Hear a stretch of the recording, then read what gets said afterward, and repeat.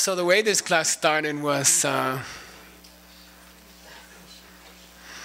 some of my friends in China, they said, can you teach more Jinkanjing Dharmakaya Sutra? Uh, this is the oldest printed book in the world. It's probably the most printed book in the world. Uh, I know the Bible is very high, Quran is very high, but I believe that probably the Dharmakaya has been printed more times and for longer. And we were fortunate. Uh, when was that? August, September. The uh, original cutter was loaned to the museum in Los Angeles, and our group had a chance to go there and see it. And it's very beautiful. Uh, and so it's one of the books that has influenced the whole world, uh, especially Asia, for many centuries, two, two and a half thousand years. And uh, it's very popular in, in Asia, especially in China. Uh, we also named our company after it, Diamond Cutter Institute. And uh, I named my first bigger book about, from it, Diamond Cutter. And uh, so my friends in China said, Can you give us a little more explanation about it? And uh, there are only, uh, that I know of, I would say three great commentaries about the Diamond Cutter Sutra. Uh, one is by Master Vasubandhu. It's 30 pages long, so it's really just kind of an outline of seven major topics of the Dharmakaya. It, and then there's uh, Chone Lama, Drakpa Shedrup, uh, who lived about 400 years ago. And uh, he's from the best monastery in the world, just Sera Mey, I think. And uh, he's a great, great textbook writer. And I think, you know, the, the, the translator class that starts in January and ends 20 years later. Uh, so far, we have one, one or two students. Uh, they will be working on Chone Lama's books first because they're so clear. And he covered all the great subjects, and uh, they're very, very valuable. And uh, John Brady's group found the only copies in the world uh, at that time in Russia. Uh, so uh, those are very great. And then the third great commentary is uh, Master Kamalashila, who lived in the 700s in India. Uh, and he wrote a very long commentary, 120 pages, about Diamond Cutter Sutra. And uh, that book reached Tibet. He also visited Tibet, and, and he, it was translated into Tibetan language. Uh, very early translation. So the translation is not easy to read from Sanskrit. It's very difficult to read. Uh, and uh, unfortunately, the book was lost so far in Sanskrit. Uh, Vimala and Nicole Vigna, where are you guys? Can you stand up?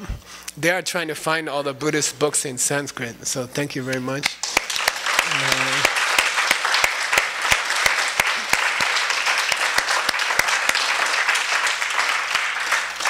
there are 5,000, they're looking for 5,000 books. I think they found about 400. Uh, and they're working very hard to find the very old copies, but they didn't find this one yet and uh, it didn't reach China that I know of.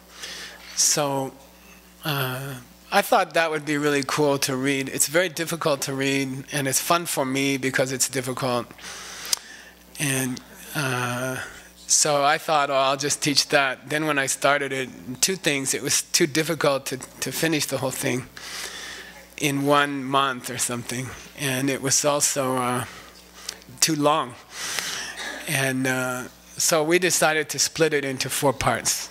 Okay, and this is the second of the four parts. Uh, and I'll try to do the third part at Diamond Mountain in, is it April? May? April. May. Ooh, hot.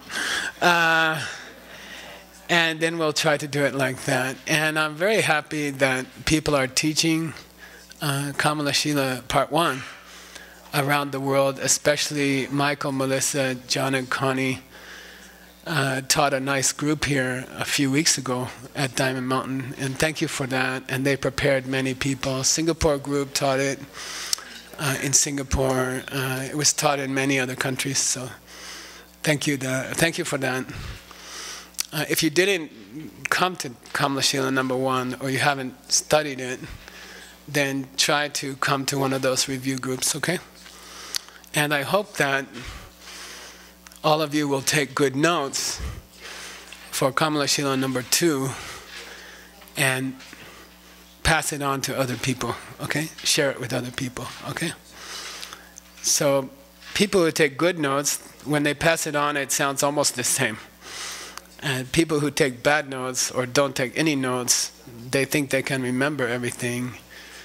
It gets very strange after a few months. Okay, so please please, please take good notes. I really like people from China, they like to take notes. Thank you very much. Please take lots of notes, okay? And uh, because you have to pass it on to other people, okay? Uh, and I really ask you, I hope you will teach it in many countries like Hamburg or, you know, Guadalajara, okay, Moscow. Okay, I hope you will pass it on, okay? uh, it's your responsibility. You know, I just teach it once, and then my responsibility is finished. Okay. All right. So let's start. Uh, where we were, I'm going to quote from the Dhammapada Sutra. Okay. Uh, the Buddha said, uh, by the way, we're, we're preparing for you a four language copy it will have the Sanskrit. We have the Sanskrit, the Tibetan, the Chinese, and the English. Okay? Maybe we'll throw in the Spanish and Russian if you guys are in a good mood. Uh, and German. Uh, but I'll try to finish that in the next few days, okay? Mm. And Jigme's been helping a lot with that. And she's actually translated Chone Lama's commentary. Uh, and it's stuck in the bardo of the publishing for a few years. Okay. Somebody's gonna finish the translation. Okay. Okay, Yang Rab George Chanju Sembe Ngopola Minepa Jimba Jino. Uh, the Buddha is talking to his student Subhuti. This whole sutra is a conversation between the Buddha and his student Subhuti. Uh, Lots of people have said that Subhuti is not really a student. Uh, he's Manjushri, uh, and he's asking questions to the Buddha so that other people will can learn something. So it's really one Buddha in disguise is asking questions to another Buddha so that the people who are listening uh, can learn something. Okay, what's another famous sutra like that? Yeah, Xinjing uh, Heart Sutra is very similar. Uh, the Buddha goes into meditation in the Heart Sutra, and he makes his two students have a conversation. So they are like puppets, and Buddha is holding both of them, and they are having a conversation. What's the funny part? What's the only thing the Buddha says in the whole book? Oh, good job! Good job. He's making both of them talk to each other. And then he says, Oh, you guys are really smart, you know. Uh, so this is very similar. So uh, next time somebody asks uh, irritating, dumb question in your class in Russia or China or Mexico, just be careful. They might be Subhuti, okay? Sometimes I call those irritating students, oh, thank you, Subhuti, for your question. Okay. Mm. So in one of the last verses we covered, Yang Rab Georgia Jimba Jino, uh, when bodhisattvas practice the six perfections, what's the first one? Giving. And they give things to other people, they don't get stuck in things. Okay? When they, are you guys warm? Are you too warm? This is a useless question. Uh, do you feel anybody feel warm? Or are you okay? Two people in the back with the sunlight on them. Okay, we'll wait a while before we turn on the torture machine. Uh, he says, "Give, but don't stay in things while you give." Okay.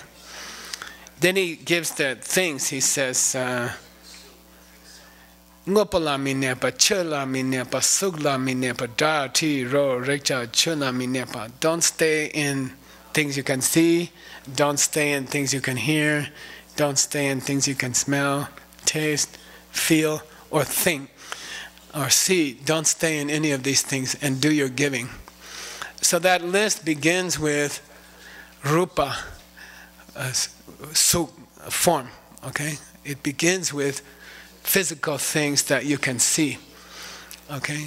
Uh, those of you who know Buddhism, the word form can have two meanings. One is what you see, colors and shapes. And the other is physical stuff. Any physical stuff is called form, or in, in Sanskrit, rupa. Okay? So he says, You be generous to people. You know, help other people financially, help them, cook for them, you know, visit them, talk to them. But while you're doing it, don't stay in those things, okay? especially the physical, because that's most of our world. Uh, in the Abhidharma, it says the things you see are about 90% of your life. You know, we spend a lot of time in our eyes. Okay, so he says, while you're giving things to other people, don't get stuck in the things you can see, the physical things, okay? Then that was where we left off last time.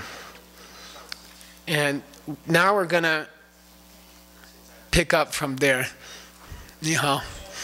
Uh, by the way, we'll be taking a break about halfway through for uh, Joanna.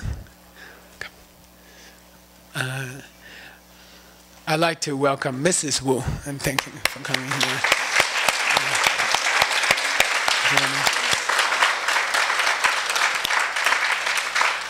So about halfway through, we're going to have a fresh juice break, okay, which is a Kamalashila tradition. I'd like to thank Michael and Melissa and Tahia for making it happen and the stumps. Uh, and we'll take a fresh juice break about halfway through. Before fresh juice, luksa sogore. Luksa sogore. You have to make a place to put the fresh juice. Understand? Okay. Those of you who are first thing in teacher training, never teach over an hour and a half because people luksa sogore. They have to make a place to put the juice. Okay. Now, uh, question comes up in the Dharmakaya Sutra, okay? Uh, when I do the six perfections, by the way, uh, Kamalashila divides the whole sutra into something like 18 sections, okay? We have finished two, okay? Uh, the first section, according to Kamalashila, was about bodhicitta, which is just the wish to become a Buddha so you can help all the people in the universe. Okay? That's all. There are many strange translations, there are many strange explanations. They're all ridiculous. Okay?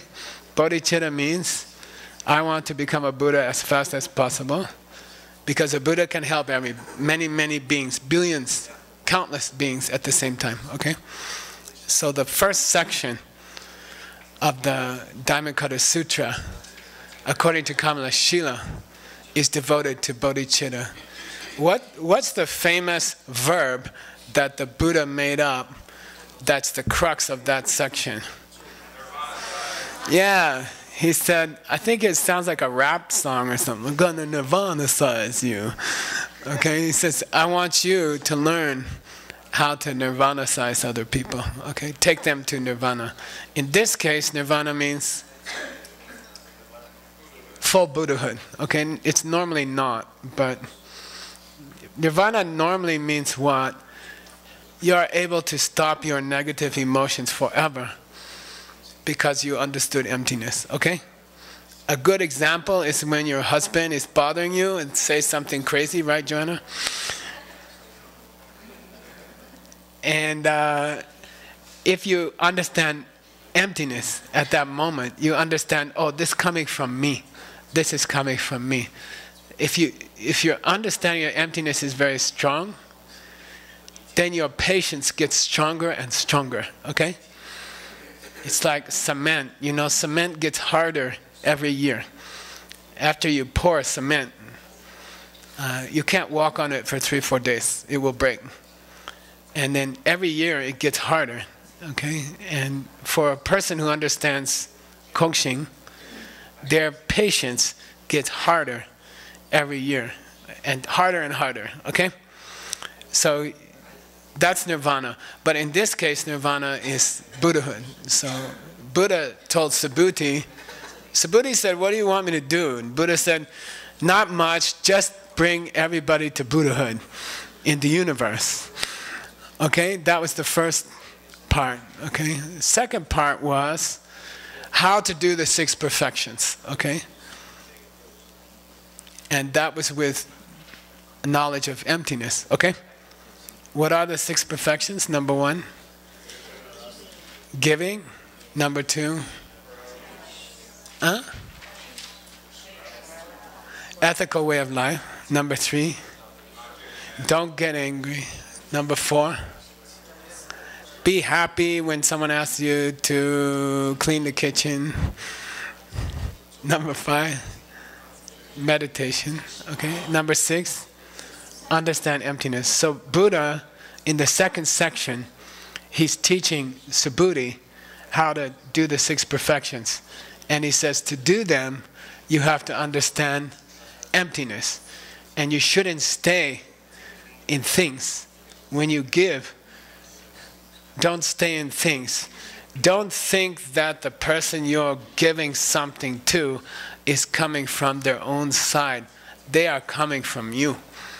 Okay? Don't think that the thing you are giving them is coming from its own side. It also came from you. Okay? And don't think that you met them by accident. Okay? That's also coming from you. Okay? The meeting of you and the person to receive is no accident. Okay? So you made the gift which you are giving to them. Let's say you are giving to them a churro, ponchik, youtiao donut, Tim Horton. What is that? It's some little sweet, okay? Why I know the word for that in every language, I don't know. So you are giving them something sweet. If you stay in things, if you're staying in things, you can think, oh, I'm so nice. I'm giving Kili Tan uh, a, a youtiao. You know, I'm such a nice person. I'm giving her a donut, you know. I'm pretty cool guy. You can think that, okay? But if you understand emptiness, what are you thinking? About the donut. This came because I planted seed by giving a donut to somebody in the past. So what's the best thing I can do with it? Should I eat it or should I give it? Okay, if you think you're giving a donut, you are staying in things. Okay? You are staying in things. Got it? If you are not staying in things, you are thinking, oh, this is the best way to get a donut. I'll give Kelly my donut, you know. Then I'll get 10. Okay? Not a bad deal. Okay? Net 9,000, 900% profit. Okay? So when you look at that donut, you can have two ways of looking at it. First one, it's just a donut. And I'm sacrificing it to Kelly. And then the higher understanding is it's no sacrifice to serve other people, okay? You are just creating your own paradise, okay? So give it.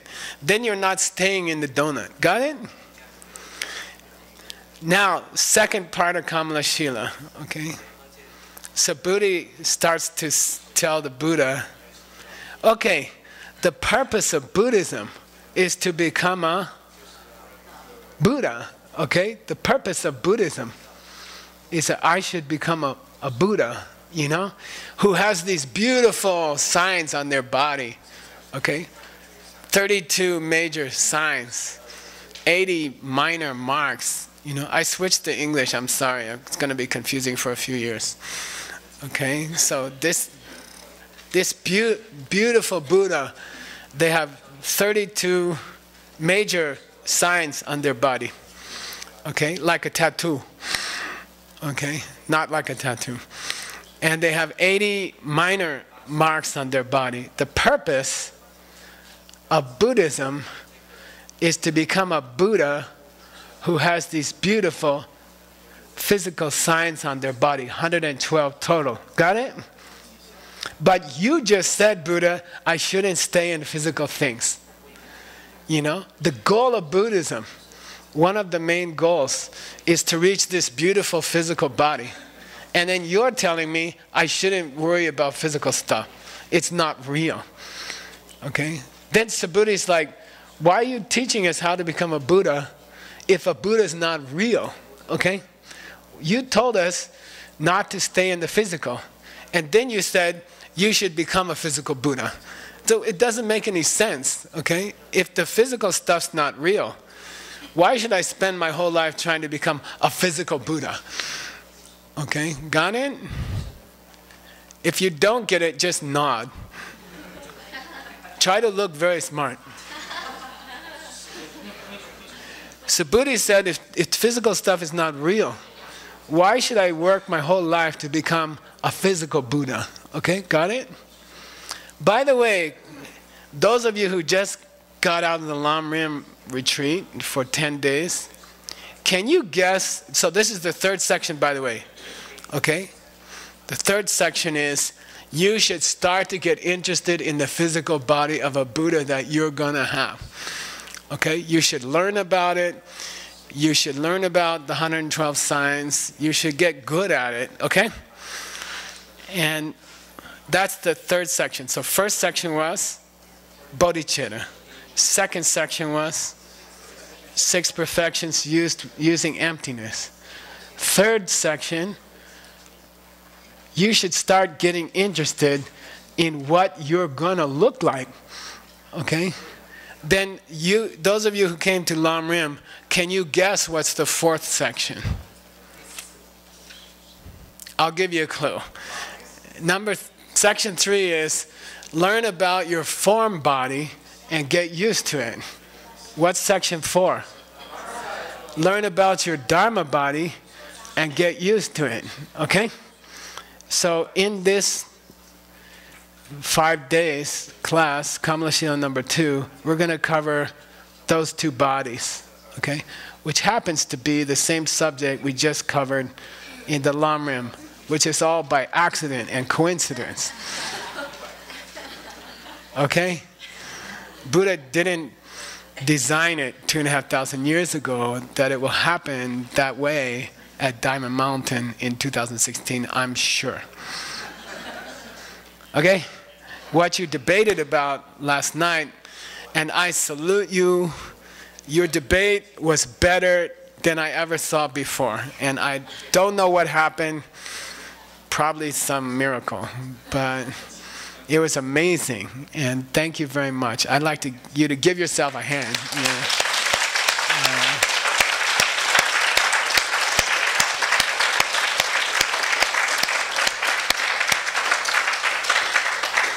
And those are seeds in like five languages. So I'm thinking they will spread like virus, okay? Dharma virus in Russia, Germany, Mexico, um, America. oh, I missed one. What was that? China. Okay, so up to you guys, all right? Chinese speaking countries. Mm. So, Buddhist, so we're going to cover uh, the physical body of a Buddha, okay? And then we'll cover the Dharma body of a Buddha.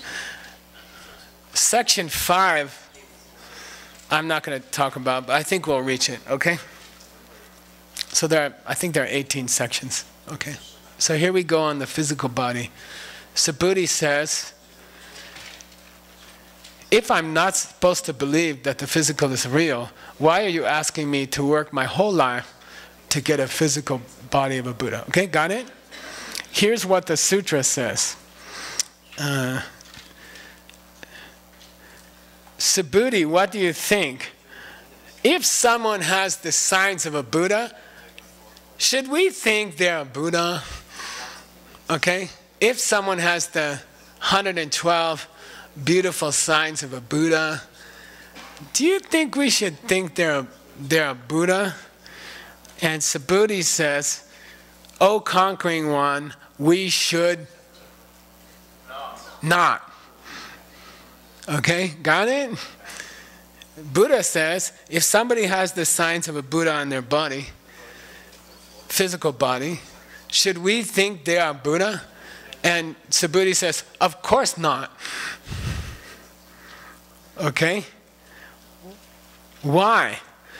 Because when the Buddha explained what are the 112 beautiful parts of a Buddha's body, he said at the same time, they are not possible.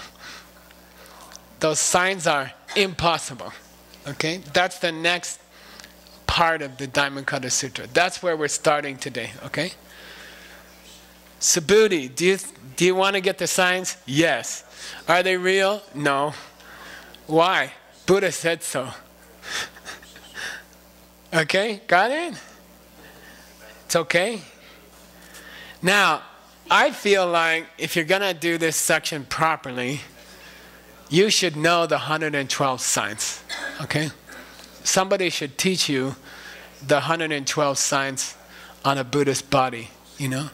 What's your future? After you become Buddha, what's your body look like? Okay? I had a guy came to the temple in New Jersey. He saw the Buddha picture. The Buddha had a bump on his head this part we call Crown Ridge. Uh, and he said, uh, Is that part of the Buddha's head? I said, Yeah. He said, Every Buddha have that? I said, Yeah. He said, I don't want to be a Buddha. you know, difficult to comb your hair. You know, your hats don't fit. You know, don't worry about it, okay? After you become a Buddha, you can look like anything you want. Tom, Tom Cruise or you know, some movie star, anything you want, okay, you can look like that, okay? But there are 112 classical marks on a Buddhist body in their own paradise, in heaven. They have 112 marks on their body. The most famous place to learn those 112 is written by who wrote most of the books in the monastery? Maitreya. Okay? Maitreya, in one of his five great books, okay, he wrote a whole list of the 112. It's in the eighth chapter of the Abhisamaya Alankara, the jewel of realizations, okay? The jewel of realizations. In the eighth chapter, uh, Maitreya, who's got them already, right? He says, this is what your body's going to look like, okay? And uh, we have to memorize this book in the monastery. And uh, it's very beautiful because the whole book has a certain rhythm. The whole speech of Maitreya, which was written down by Master Asanga, Arya Asanga, uh, the whole book has a certain rhythm when they hit the major marks, uh, when they hit the marks and signs, it, the rhythm changes. It's very cool. And it gets very hard to memorize, okay? The rhythm gets, the, the verses get much longer. The lines get longer. The meter suddenly shifts. And you feel like you're going into an enlightened realm. If you know Sanskrit or Tibetan well, and you're trying to memorize it, or you're reciting it from memory, when you hit this, the signs of a Buddha, suddenly it's like whoo, you know. It's like certain rock and roll songs when they stop at a certain place and the rhythm changes, and it's, it's really cool. And it's quite uh, striking when you memorize, okay? So I wanted to do a little detour on the 112 marks because the Diamond Cutter Sutra doesn't tell you what are the 112 marks, okay? And signs. So I want to do a detour to Maitreya. And I'm going to teach you from Maitreya uh, the 112 signs and marks, okay? And we're going to meditate on them, okay? We're going to meditate on these 112. So the I prepared a, separate little book for you, okay? In my free time. Uh, first part is the original verses of Maitreya. So you will have the verses of Maitreya, okay? From the jewel of realizations, okay? And then those are like spoken by some guy on LSD. How do you say? It's like he's it's difficult to understand why he's, you know, what he's saying is difficult to understand. Maitreya is already a Buddha. Maitreya is the next Buddha to come. Maitreya is much closer than you think. Okay? Then, uh, when a Buddha talks to somebody who's not a Buddha, it sounds like somebody who got very drunk or something. It's very confusing, okay? It's too much. Okay? So, there's a very great uh, Lama who took all of those uh, signs and organized them into groups that are easier to remember. Okay? Like all of these signs are going to be on your face. All of these signs are going to be on your arms. Okay? All of these signs are going to be on your chest. And he organized them. His name is Ngawang Pelden, Chuje Ngawang Pelden, very famous uh, philosopher from Mongolia. Okay, okay. So, uh, and he was a great, one of the greatest tantric teachers in history. He wrote a very beautiful explanation of the whole tantric system. And I translated all of that and I put it in the tantric course. So if you survive the Lam Rim course, uh, we will go to the his course, okay? It'll be his. So he's a great writer, okay? In this last Lam Rim course, we took a detour to some Tantra, some Vajrayana, Diamond Way, because the people were ready in the room. The people in the room were ready, okay? So I think it's going to go like that. You don't have to wait 12 years for Vajrayana. Those turtles who come to Lam Rim and just keep coming, they will get secret teachings inside the Lam Rim. And those rabbits who are waiting for deeper things will never hear it. okay? Got it?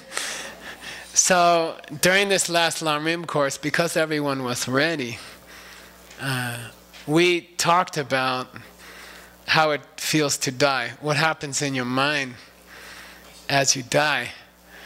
And we talked about a special opportunity you have during death uh, to jump into a Buddhist body. Okay, for a few minutes while you're dying, uh, you have a special chance to jump into a Buddhist body. So I'd like to we're going to continue some of those meditations during Kamalashila because we're going to jump into a Dharma body, right?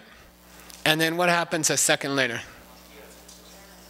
You have a physical body, okay? When you get into the Dharma body, it triggers the physical body in the next millisecond, okay? And suddenly you have these signs, okay? So we're going to meditate, all of our meditations that you're going to be doing all day are going to be based on dying, going through the death process, uh, jumping off the subway at the right moment into Dharma body, Buddha's essence body, and then you're going to jump into the science. So we're going to practice what it feels like to get your science. Okay? Got it? Cool? Cool. But to jump into your signs, you have to know what they are. Okay? The third part of the signs is super sexy. That was written by a great Buddhist Lama from East Tibet named uh, Gungtang Konchok Tenpay Drunme, okay? And Nick and Adam just finished inputting his work. Thank you very much.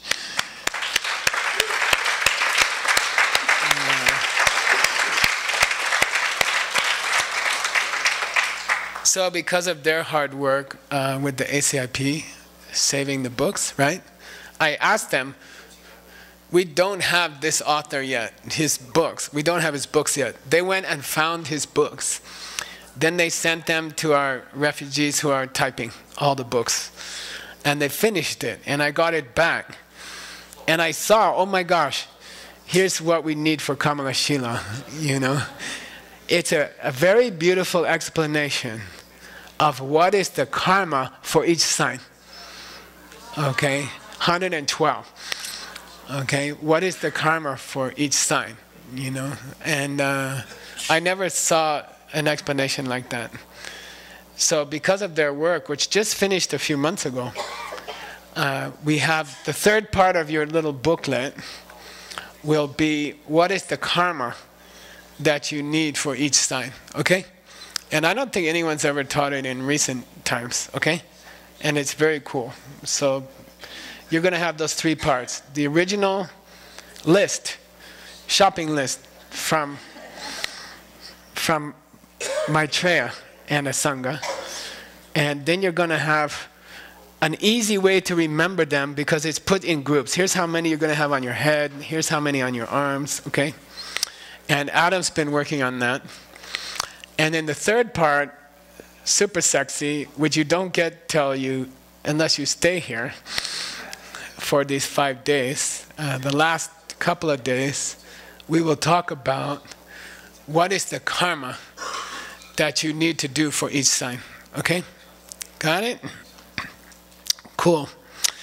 Uh, so I'm going to give you a lung. Okay? Lung means uh, I received the blessing of the sound of Maitreya's book from my teacher. So the teacher will sit you down in a chair, and then they will say, okay, just listen. And I will sing to you uh, Maitreya's words. And this has been going on for uh, 17 centuries, okay? So you're the next one, okay? And I'll do it in uh, Tibetan because that's how I got it but uh, we're translating this book into Chinese and German, Russian, Spanish. And uh, when you give it to your students, Russian is fine. Okay? The essence is the same. Okay? So I'm going to give you the lung, which is the oral blessing that started with Maitreya to Asanga and now it's coming to you. Okay? And then you should give it to your students in your own language. Okay? Chinese or Russian or German. Okay? So get ready to listen. I think if you have earphones, I would take them off. Okay? And then we'll take a juice break and a Luksa Sogore break. Okay? Your job during the next three minutes is to listen carefully, okay? And the more you listen and you think about the Buddha that you will become, uh, the more powerful it is, and the blessing will stay with you. Okay? Ready? All right, here we go. Try to be quiet, okay? And try to listen carefully. seni sumju tsani dan peche gecho dani di teche nyewa longche che.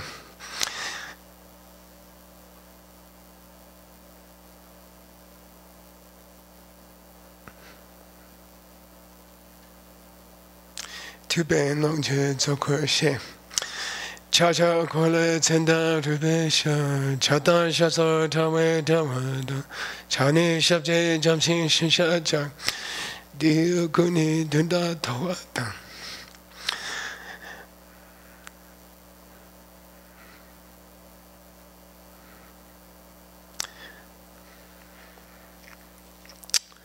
섬허링단 땡야 그제당 샴벌밍은 부기 깨득정 cheba ena yede, ena yeda chakshin charing ze, donki pawa bopsu nupe chok.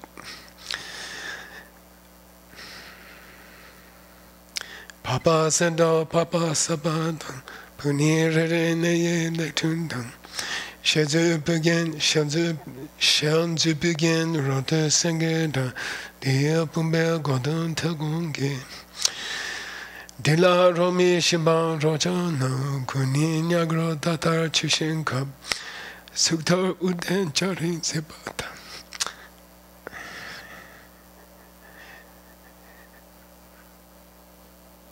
Sayan dhamba senge tadan sem shindu karan senyam tasantan tani shivchu dhamba tsamantan chani tanting chenji wacho ki dhawa dida sumche sani tsen dila tseni kankan ki tupa chepe ki kanyin tena tetan teni rabzo be seni dida yanda tu. Nama kyala sopa tang yanda nama tenpa tang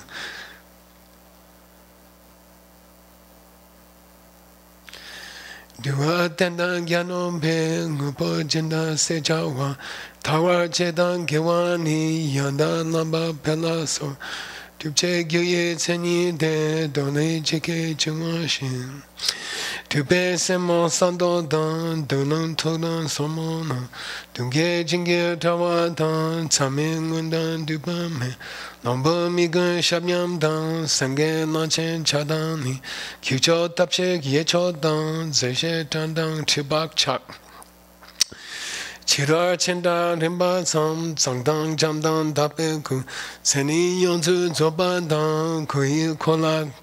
Yangshin sang kongyong badang cheni ni tatang shuncha cheni tang kushu medang geba dang shindu dimbe kunyi dang. Yana shindu namje dang sipa dime taba dang. Kudung kapchen manyong dang changyang wang dang tewani saptan ye cho kiwa dang kune tana dupa dang. Kunju tsandang kula ni mewa napa mepa dang. Chakni shimbe tajam dang chari dang yu sabring dang. Shani hajam mirin dang chuni pimba tamar dang. 장년 바당 사바당 마당 두게 다니당 승년 잠당 제와등 노당 카당 냠바당 진기야 타당 샹토당 저다 저투 다바 다다니 장야 바당 지마뚝 베메 담아 다와당 민서린당 잠바당 눈당 보니 냠바당 차링게당 냠냠당 냠바 남바 밤바당 Chalwa lekpan jeba dan, yeche wadan uge dan, uta puwa tana dan, tukdang jandan manzing dan. Mishor tishim kebu ye, yini topa chepa dan, pekye budan dashi ni, yuntung kiwe, gyamba te, sangye pedze sambo she.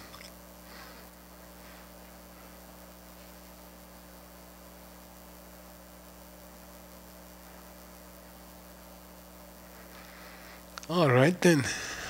You got the blessing, okay? Uh, I'm going to just give you the list, okay? But first, I'd like you to take a juice break. Okay? Please come back in about 10 minutes. And please remember not to talk, okay? We'll start. Uh,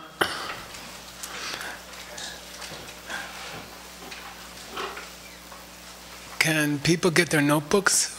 Uh, who's in charge of that? Nicole. I think I saw them coming in. Are they? The white notebooks? I think, can you check if they're in this box? Uh, they, I'm not sure.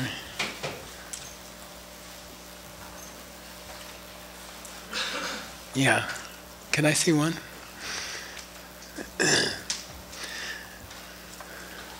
so we're going to give you the readings piece by piece. And uh, we'll give you this part now. So you can take notes. So can you start to hand them out? I, I don't see a hundred, do you?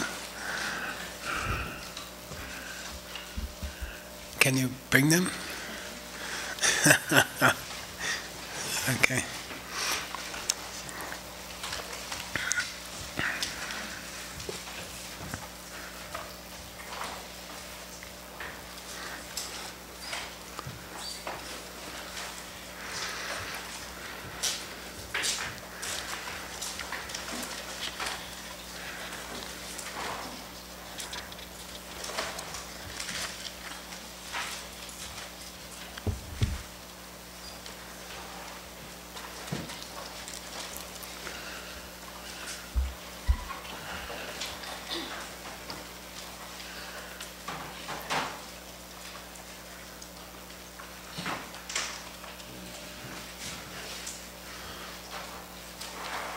Okay, so one thing about teacher training is never give the students everything at the beginning because they will read it and think they know it. Okay. Uh, I'd like to give a hand to Uwilda, Mary Ann, and David for making the juices early this morning.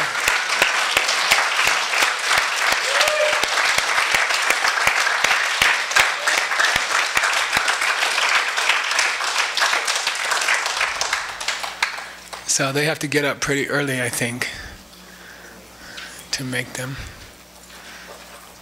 You can go ahead and hand them out.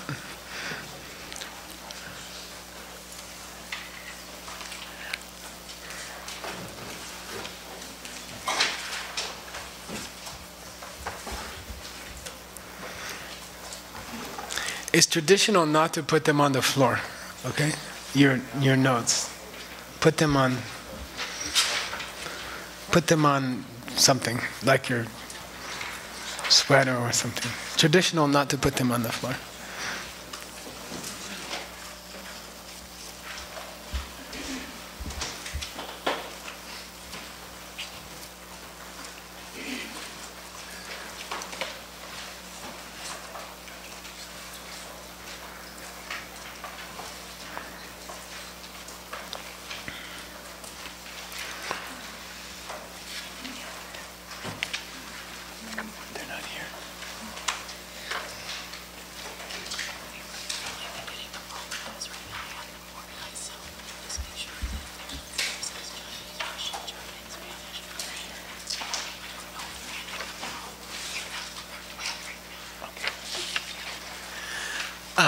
there are different versions of this notebook. There's German, there's Spanish, there's Russian, there's Chinese. If you got one in a different language than your language, please give it back. And we'll give you in your own language, okay? So if you need Russian, ask for Russian. If you need German, ask for German.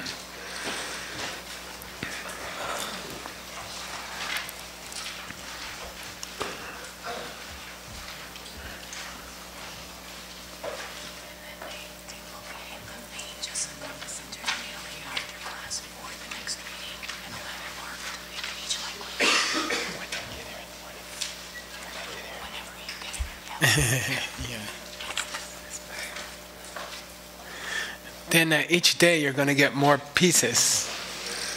And you should come a little bit early and pick up your pieces in the Jetson Jetsun Center, okay? And uh, don't be late to class. We will meditate in the morning, first thing. it's good to get here 15 minutes early, okay? Then you don't have to rush and you don't interrupt other people, okay? So be here by like I don't know, just after seven, pick up your reading, and then come over here and just you can relax, and then you're ready to meditate better. Okay? And you won't be nervous and you won't interrupt other people. Okay? Try to be here by 10 after 7 or me too. Okay, here we go. We're going to explain Maitreya's text quickly. We're just we need two Englishes over here, right? More. Three, four. If there's any more. I think they're going to get some more.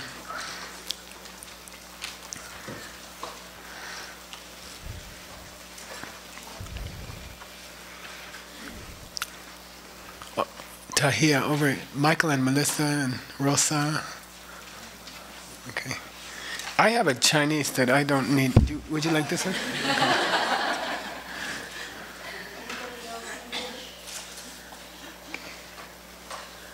Okay. Anybody doesn't have? No? Okay. Utpala needs one. Utpala needs an English, if there's any. Okay. Anybody else doesn't have?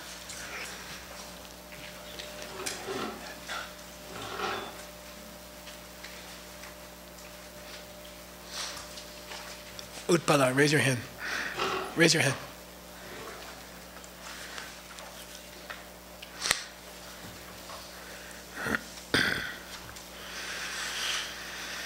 Two more Englishes. What? One more English. Over here. Two, three, four more English. Okay. Four more English? Yeah, if you have. Oh take notes on your hand or your computer, and you're going to get one after class.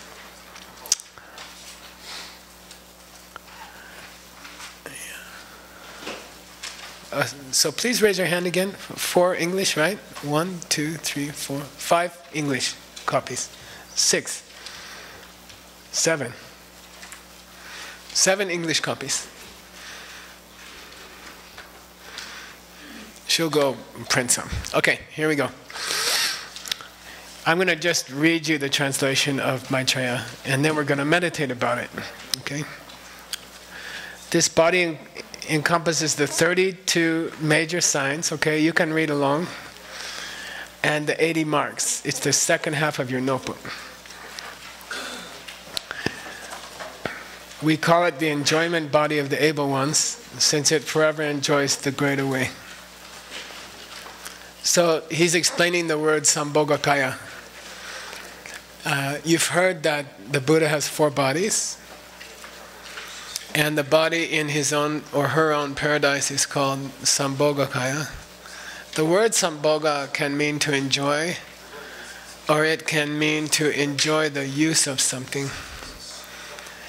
Uh, so here it means uh, enjoy the greater way.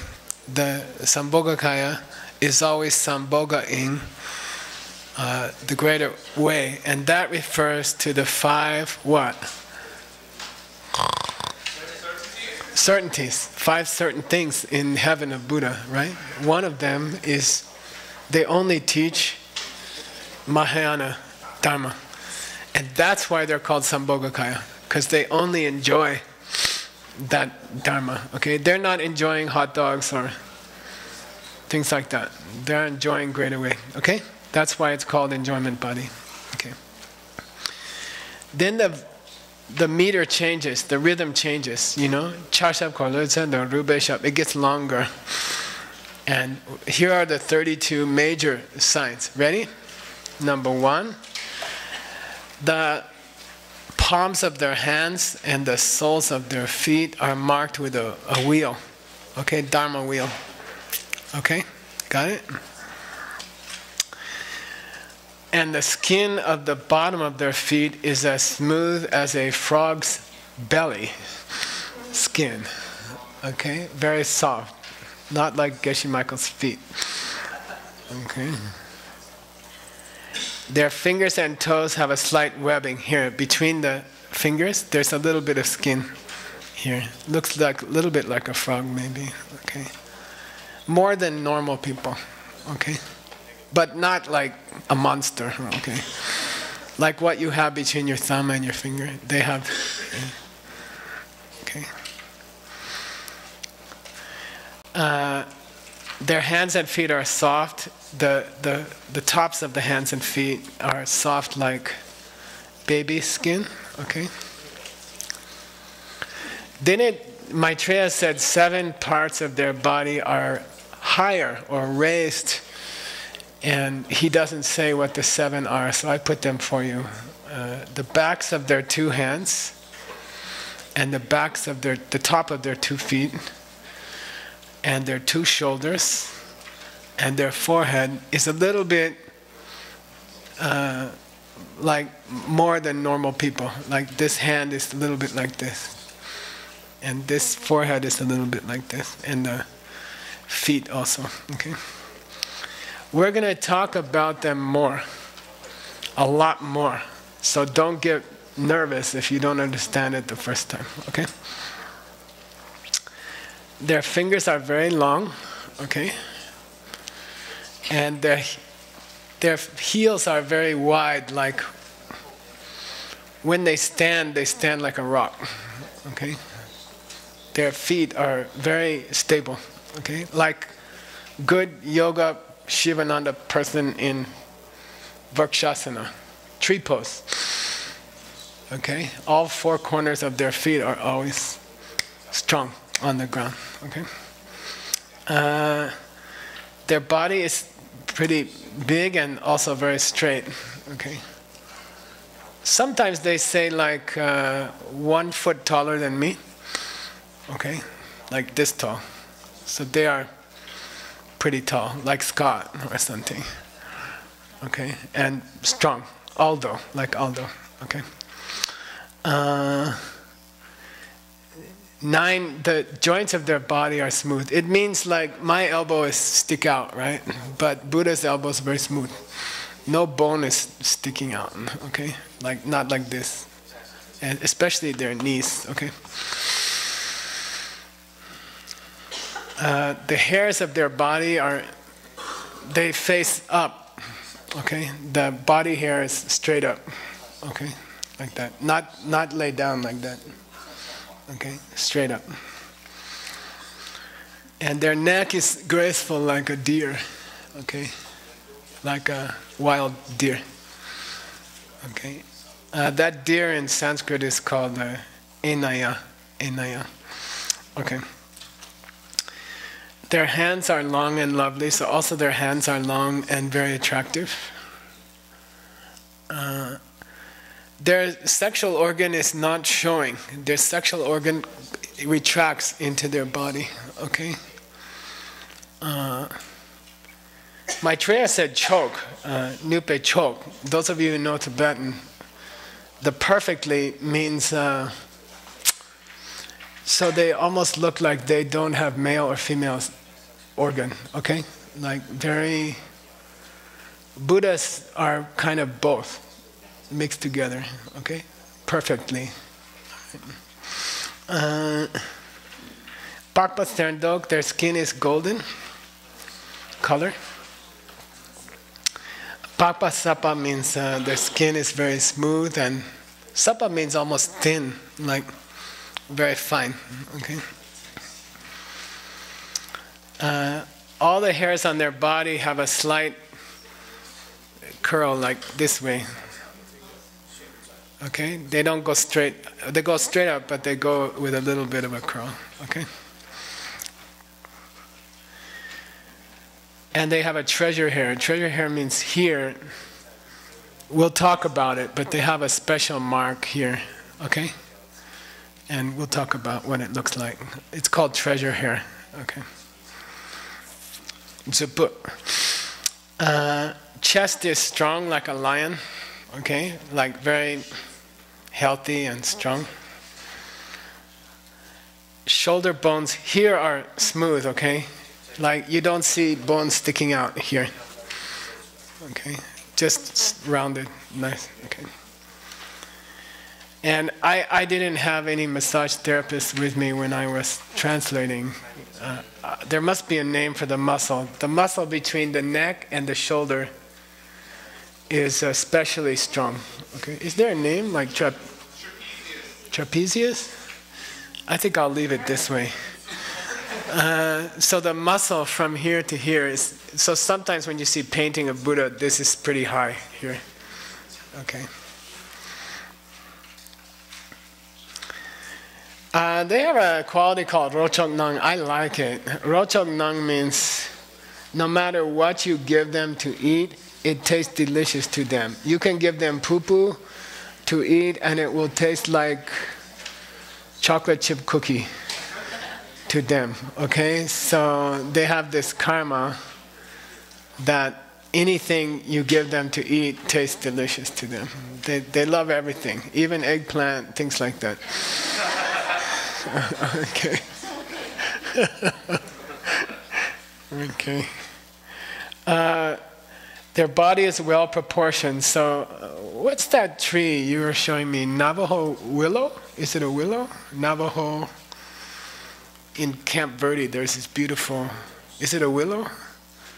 Uh, there are some trees like a fig tree. They don't grow like long branch, short branch. They grow like a perfect ball. In Arizona, there's a Navajo willow, but it, if it gets water and if there's no other trees there, it will make a perfect shape.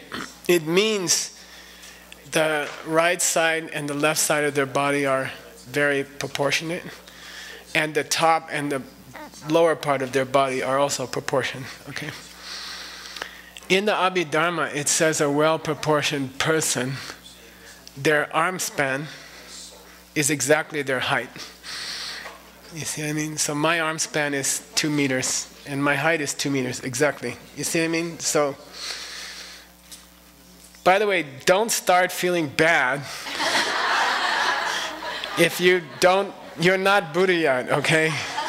So, many people who got this teaching, they feel bad for six weeks oh, my hands are too short, or my head has extra space, or, okay, just forget it, okay? We're going to talk about it, but please don't start thinking, I'm not right, something wrong with me, okay? It's not like that, okay? Buddha shows many, many different ways, okay?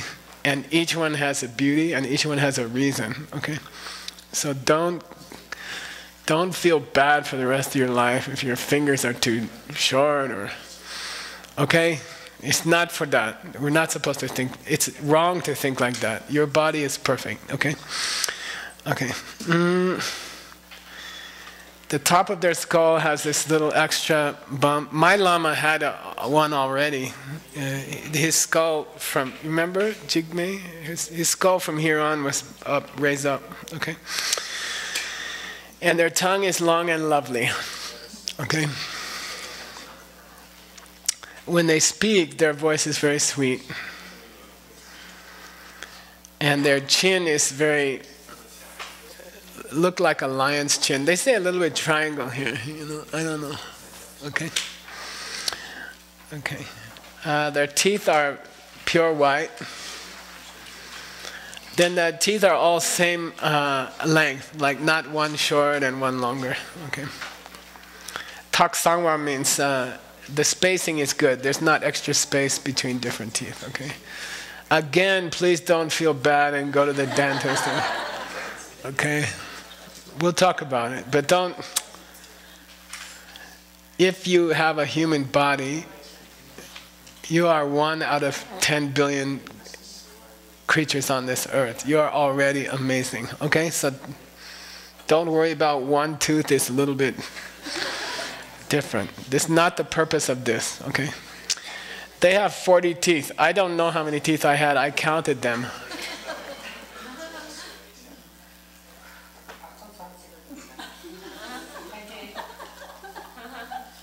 Yeah, 28. That's all I have. They have 40, okay? I don't know why. Okay. Their eyes are blue color, okay? Uh, but the inside is a black color, okay? So, you know, all right.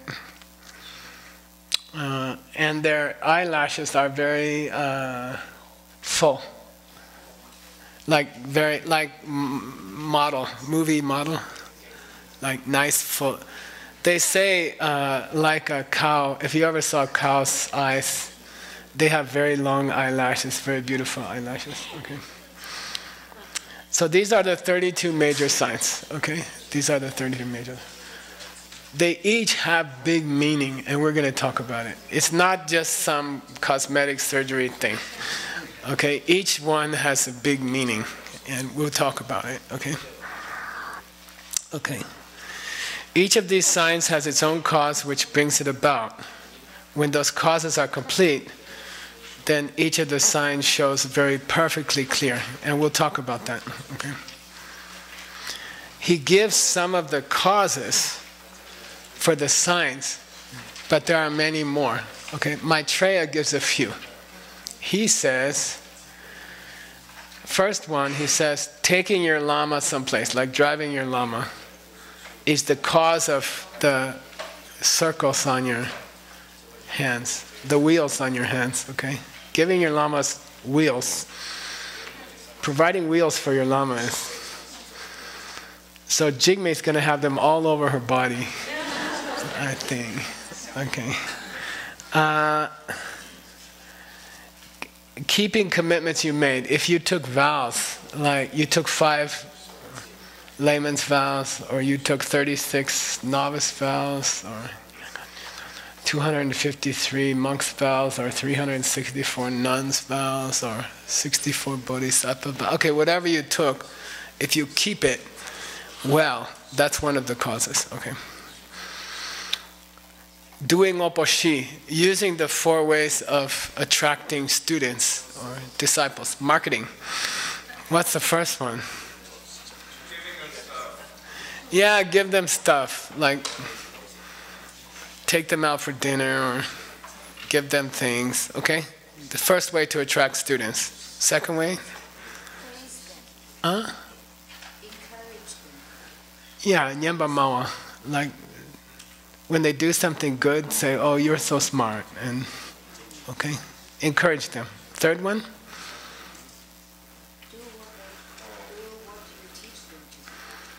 Yeah, we're missing one in there. Yeah, getting them to do what you taught them to do. Encouraging them to, to act and not just learn. Okay? Encouraging them to really do what they learn. And then the fourth one is yeah, most difficult. Uh, you have to practice what you preach. You have to do what you talk. Walk the talk. Okay? Do what you say you're going to do. Or giving exquisite gifts to people, beautiful, giving beautiful things to people. It could be a beautiful cake, it could be flowers, it could be a student center. Okay? Freeing animals that are meant to be killed. Okay? Sometimes I go to the restaurant where they sell the lobster and I buy one and I take it and I, if I'm near the ocean, I take it to the ocean and I put it back in the ocean. Okay? Like that. The Mexico group did a very nice offering a couple of years ago of some very expensive uh, big birds and they they are pets and they let them go and uh, very, very beautiful. Okay. Uh, starting good deeds, and what good deeds you already started, try to improve, try to do more. Then we're going to talk about all the causes of all the signs in detail. Okay, so don't don't worry about it. Uh, what I'd like to do now is to do a, a little meditation. Okay? This is one of the meditations you're going to do. Okay.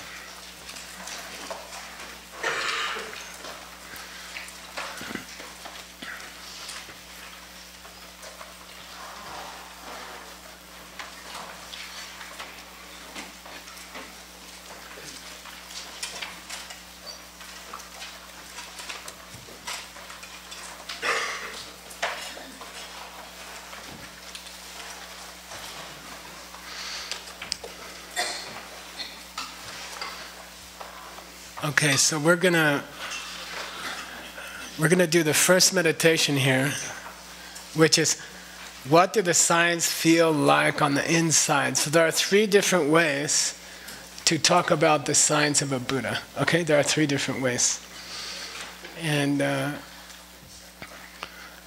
one the first one that Kamalashila talks about is. Uh, what you can see on the outside of a person that shows you something about their inside, okay? So sometimes you can meet older people who have this thing here, you see? They smiled for 50, 60 years. And they have this uh, lines here, you know? Then you meet other people, they have lines here.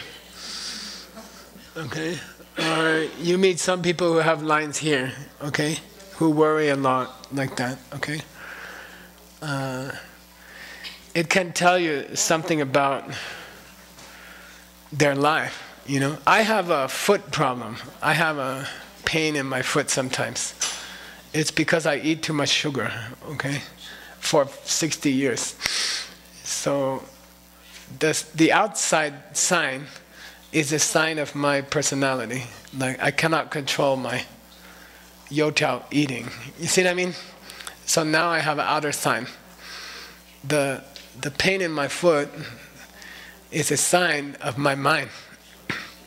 Inside, I cannot control sugar. Okay, so the foot tells me it's a sign of my life. You know, and uh, most of us, our body is it some kind of I worry too much, think too much, then lost my hair. You can from my hair you can see too much thinking inside. You see what I mean? Like that. Okay? So first meditation. I'd like you to think of some, you know, uh, nice part of your body, okay? Your smile, or, you know, I have uh, rough hands, then uh, mainly they got hurt when I made my lama's house, when I built my lama's house. It was winter. And uh, they hurt a lot. They got a little bit hurt, you know, for I was outside in, in the winter, in the snow. So I got this uh, partly, partly from that, okay? So I'd like you to go through your body, okay? And think of something beautiful, like your smile or your eyes, okay, or how you can hear things like music or things like that, okay? And think about how it shows some part of the inside of you, okay? Like if you have a nice smile, it's because you're thinking nice thoughts a lot, okay? Or if you have nice eyes, it's because you are happy to see people, okay? I don't want you to think about this one, okay? Or Geshe Michael can't think about his foot. I want you to think about something nice about your body, okay? And then going inside and try to find the feeling that's connected to it, okay? Got it? Can we turn on the air? I think it's getting there. Okay, can we turn, do we have to turn on here? Okay. When you start to meditate, freeze people. Teacher training. Okay, got it? Any questions about this meditation? Okay, let's go. Get ready to meditate. Step number one turn off your phone. Step number two blow your nose. It helps a lot not to cough later. When you start meditating, the, it comes down.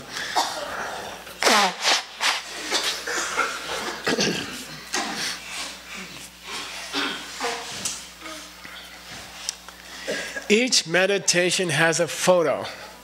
What's the photo for the first meditation? Huh? Some handsome guy looks like Nick with a big smile. Okay, so later, there are 25 meditations, okay? Same as Kamalashila number one. When you are in a long meditation, you just remember the picture and it will bring you to the meaning. You see what I mean? So, first picture is Nick with a big smile. Uh, the second picture is Mark Salustro driving Christine Walsh somewhere. Okay, got it? Here we go. First one. Ready?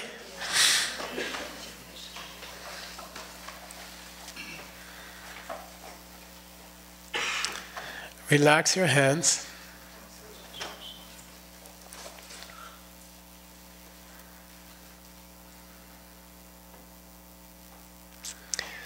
Relax your smile, little smile.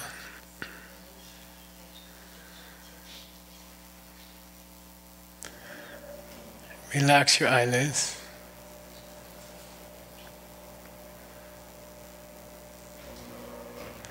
Then I'd like you to come to some part of your body. I think all everyone in this room has a nice smile, for example.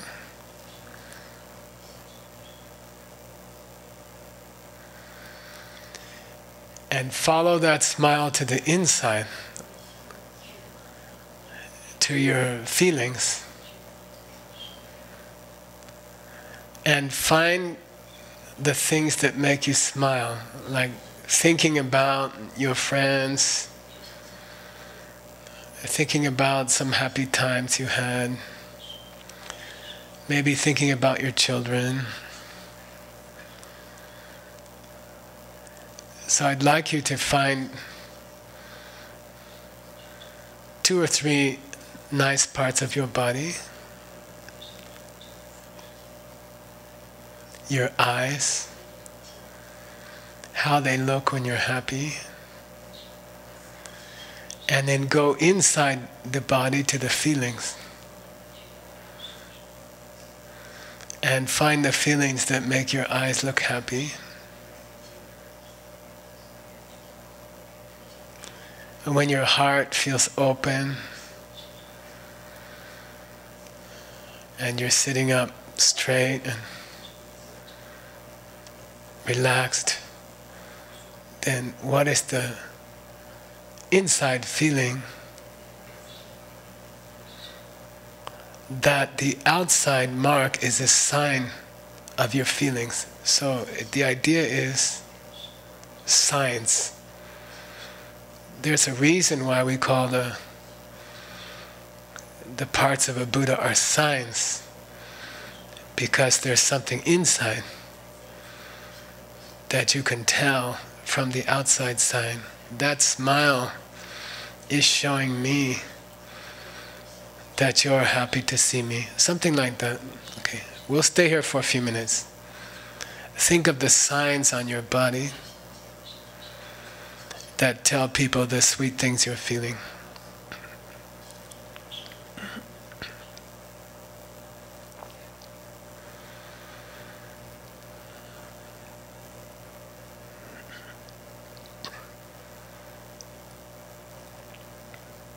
Could even be your posture or your body language. It tells other people a lot about how you feel.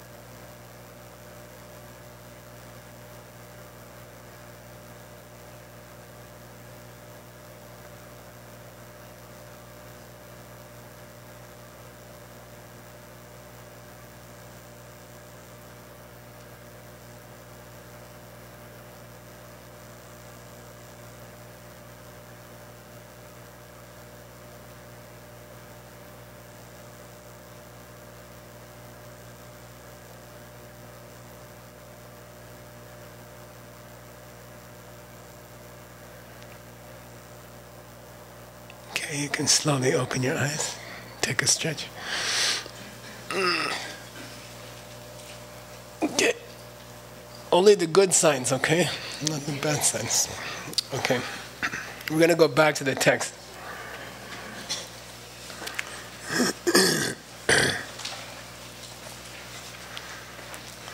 now we'll start the 80 minor marks, okay? Why they are minor, we'll talk about it, okay? First one, their fingernails have a copper color, okay? Their fingernails are a little bit color of copper. Number two, their fingernails have a healthy sheen, like a little bit oil color, and not dry, not flaky, none of this white stuff here, okay?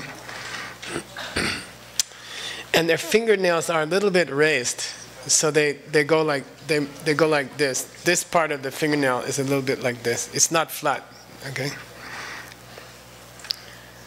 Uh, their fingers are well rounded nice and rounded. Mine are not, okay? Mine are bony, okay? But their fingers are very round, okay? And strong. Their fingers are strong. Healthy.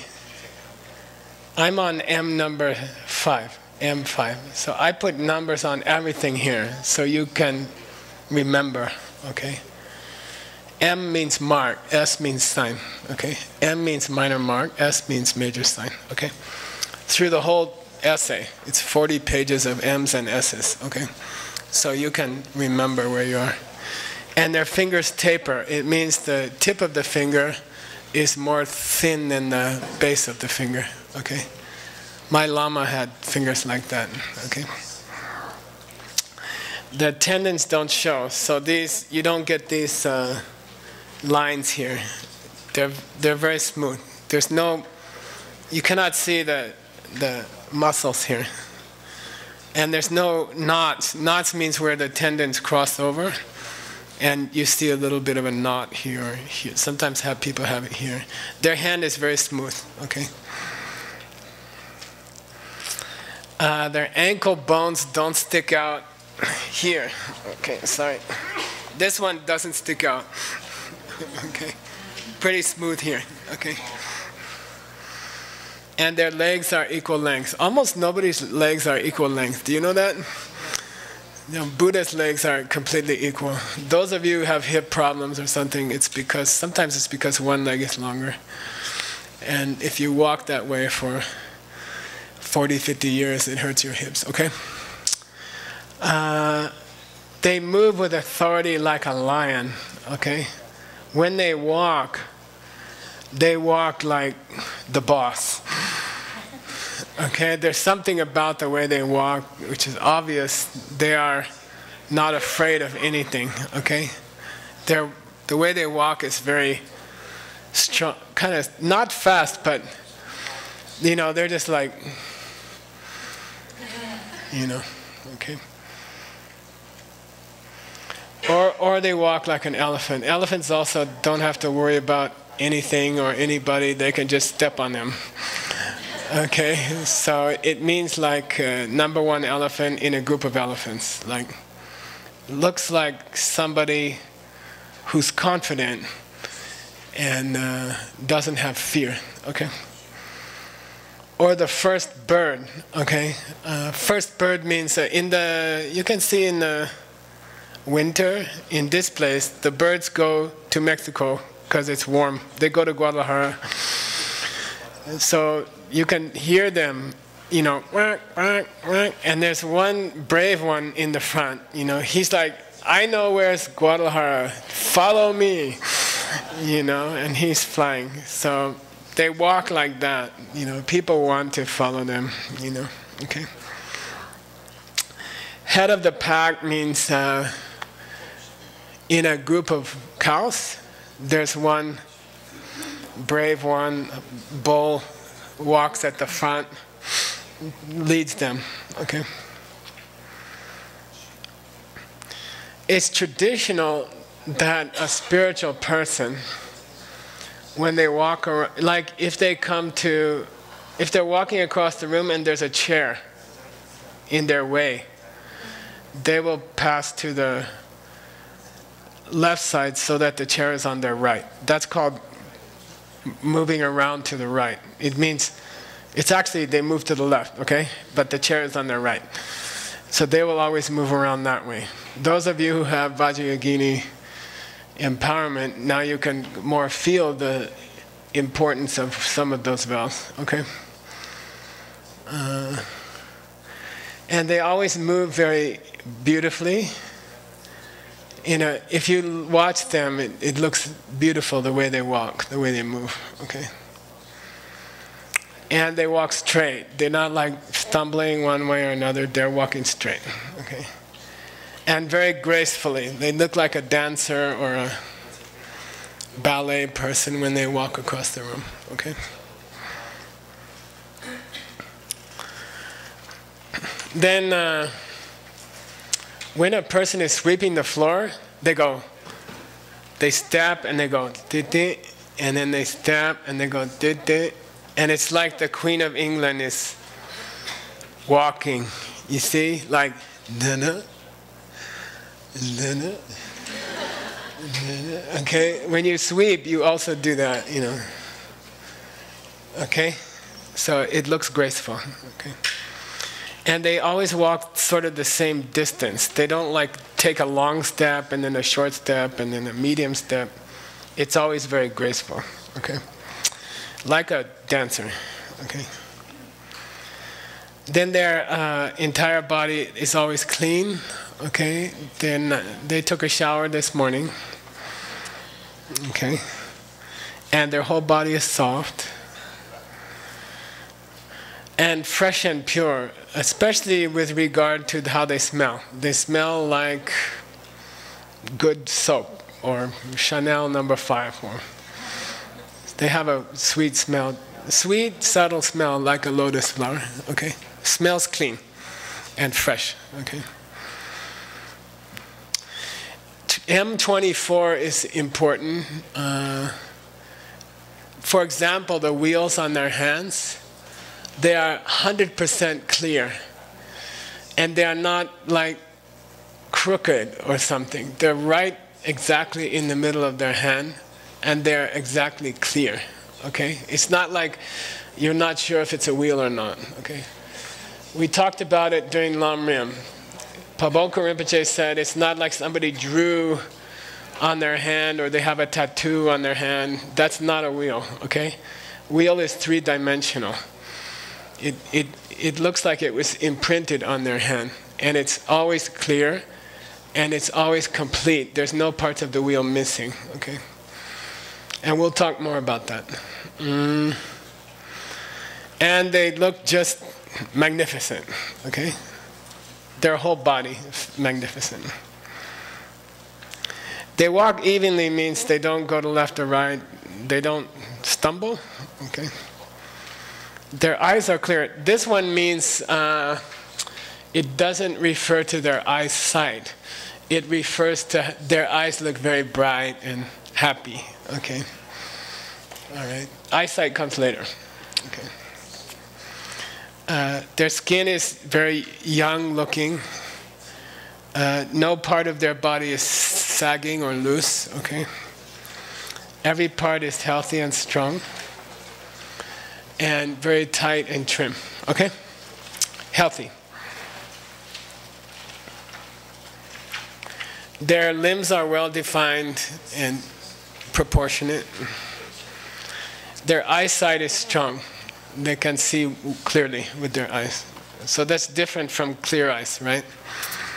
Uh, the sides of their body, this is the side, okay, here. It, it has a nice shape here okay? And their waist is slender and it doesn't hang out, okay? But the book says it hangs out enough. So they don't look skinny, they look nice, okay?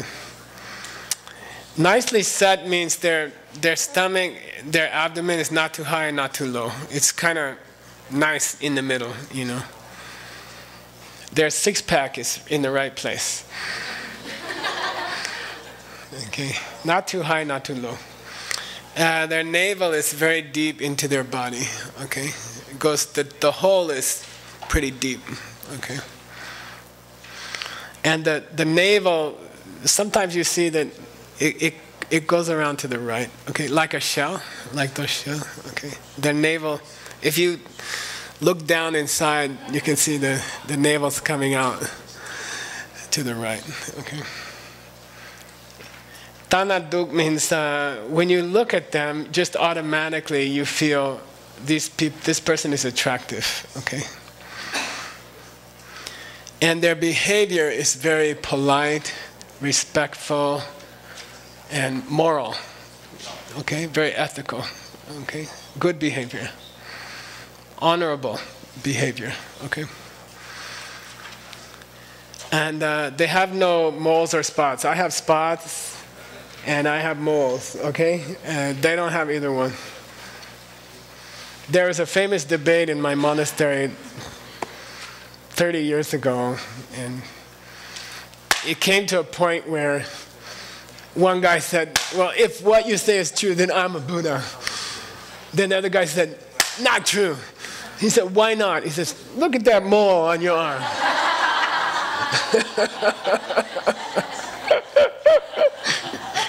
okay. Mewa Nakpa, Mewa Napa Meba. It's very famous. Their hands are soft as cotton. How these connect to the major signs which are similar, how they are different, we're going to talk about tomorrow. Okay? Uh, the lines of their palms are clear, these lines here, okay? Very clear, well defined, okay? They are cut deeply and they are long, and that has meaning, okay? These lines are very long and clear, okay? Uh, their face is not too long, okay? Nice shape. And their lips are naturally red, uh, naturally without Sephora. But Sephora is okay also. Uh, their tongue is soft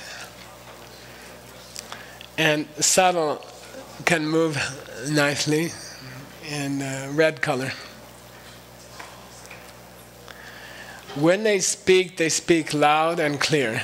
Okay? They talk loud and you understand. Okay? But what they say is always soft and gentle. So they speak clearly. Any, everybody in the room can hear them, but they don't say bad things. They only say sweet things. Okay, so they are speaking a little bit loud, but they're speaking nice things loudly. Okay, not like angry or something like that. Okay, cuspid tooth is these two teeth. Okay. Sometimes in English they are called canines. Sometimes they're called eye teeth. But these two teeth here, the long ones here, look like dog's tooth, okay? In English they're called cuspid or canine. These two teeth are rounded. It means the little bit curved like this. The surface is not flat. The surface is rounded, okay? These two teeth, okay? And they're sharp. Okay, here they are sharp. Okay, those of you who study Vajrayogini, she has very good cuspids. Okay, they are sharp. They are white and they are equal in length. Okay, these two are special meaning. These two teeth have special meaning in Buddhism. Okay, okay. And those two cuspid teeth get finer as they go. So they start a little bit wide and they go more narrow. Okay, these two. Okay. They have a strong nose. Buddha has a strong nose, like America, Megoren. okay, they have a, a pretty strong nose. Pretty, I don't know. This part is pretty high and obvious, okay? And the inside of their nose is always clean, okay? No boogers boogies, nothing coming out here. Okay.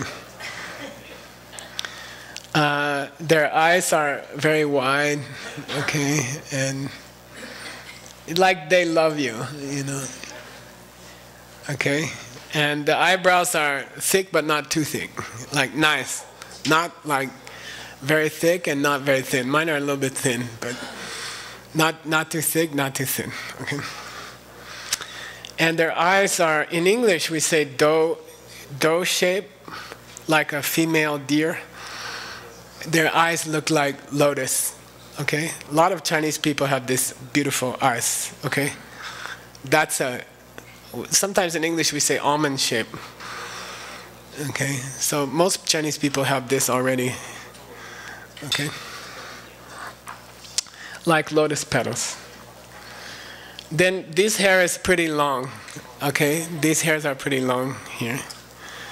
Okay, and they're soft and they look healthy. They, they don't look dry out. Okay, they look like they got conditioner. okay. Uh, and they're equal. Not one is very long and one is very short. Okay, equal. Hands are long and strong. How is that different from the major mark? We'll talk about it. Okay. And their ears are equal length. Okay and their hearing never goes bad. So, me and JB and you know, we got to work on that. Okay. Uh, the next one I really have to work on. Their hairline is well defined. This is this line is very clear, not like you know, very straight and clear. Okay. And they have a broad forehead. Okay. Forehead's a little bit broad. Uh, the shape of their head is full, and sometimes they say like an umbrella. Okay, like pretty full. Like mine is a little bit skinny up here, but the, like Joanne has a nice umbrella head. Okay. Uh, and the hair of their head is black like a honey bee's bottom. okay. okay. Buwatarnak means uh, like black as the as the butt of a honeybee. Okay, I guess they're black, right? Some some of them. Okay. And their hair is thick, not like Geshe Michael. Their hair is soft, and it never gets tangled up. It's always very like straight and separated. Okay. It doesn't fly out like Geshe might, you know, like that. It's always like nice and, you know, okay. And if you smell their hair, it smells very sweet. Okay, some nice smell. To put your nose in their hair is very nice. Okay. Okay, last one. Uh, their body has natural tattoos. Okay, and special signs. And I'll, I'll show you the signs, okay? There are different lucky signs, like swastika or boom. I'll show you, I'll show you a drawing, okay? But they have natural on, on the side of their neck or uh, on their arms, or, okay? Natural signs, natural like tattoos, okay? Like that. All right, those are the 80 minor marks, okay? Now, we're going to do your second meditation. Maybe we will go over time. In Kamalashila, I get to go over time. Okay? Uh, we're going to do the second meditation. What's the photograph for the second meditation?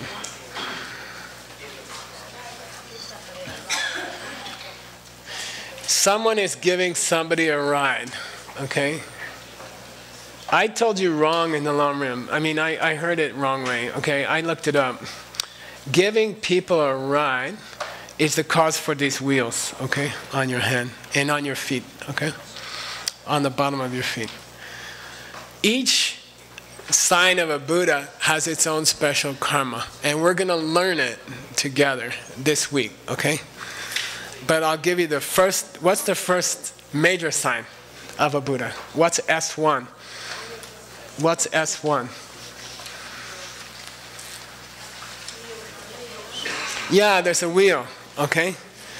The special karma for the wheel on your hand is giving your Lama a ride or prostrate to Lama because your feet, hands go to the ground. You see?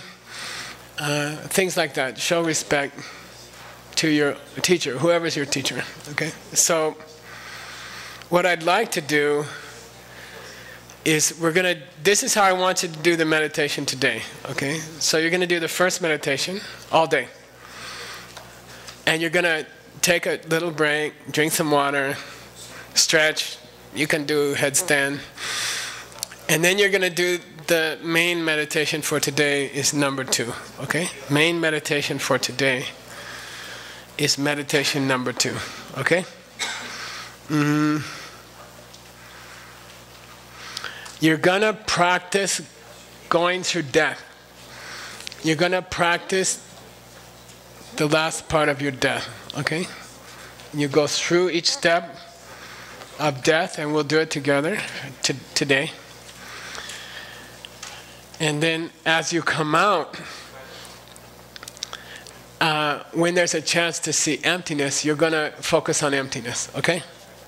In the middle of death, towards the end of the death experience, okay? We did it in Lamrim many times, you guys know. Right after that, I want you, you see, when you move into your Dharma body, when your Dharma body starts, okay? One second later, your physical body starts, okay? So I want you to feel we're going to go through the death experience. We're going to go to emptiness, okay? Then we're going to become the emptiness, Dharma body. And then right away, the sign's going to come on your hand, okay? And I want you to feel it, okay? It's not a tattoo, it's three dimensional. I want you to feel how it feels when your hand changes, okay? So, this week, if I see people walking around like this, I'll be happy. And they're like, man, that itches.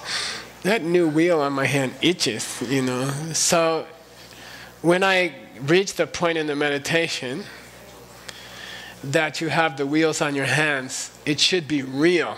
Okay? That's meditation. Meditation doesn't mean a picture of a wheel. It means, oh, I can feel it. It's on my hand. Okay?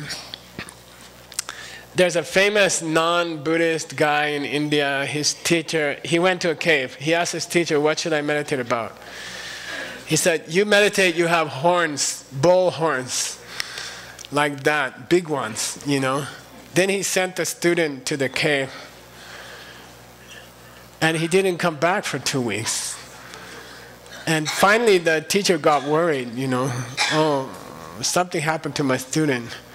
And he sent the other student to the cave on the mountain. And he, he looked inside, and the guy's still inside the cave. He said, Teacher wants to see you, come out, you know. He said, I can't. He said, why? He said, my horns get stuck in the, in the door. I cannot come, you know. Should be like that, okay? Okay, that's good meditation. Okay. Oh, feel something itchy, you know. Okay? Don't think picture. Think real. Okay? That guy wasn't doing horn picture. He was doing real horns. That's why he couldn't get out of the cave. Okay? Got it? Let's practice together. Okay.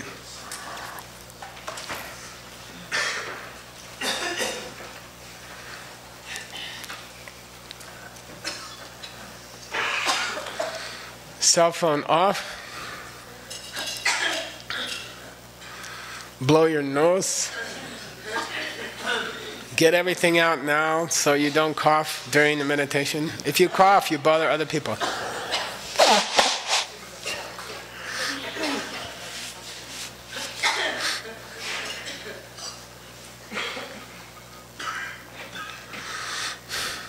Okay, let's start.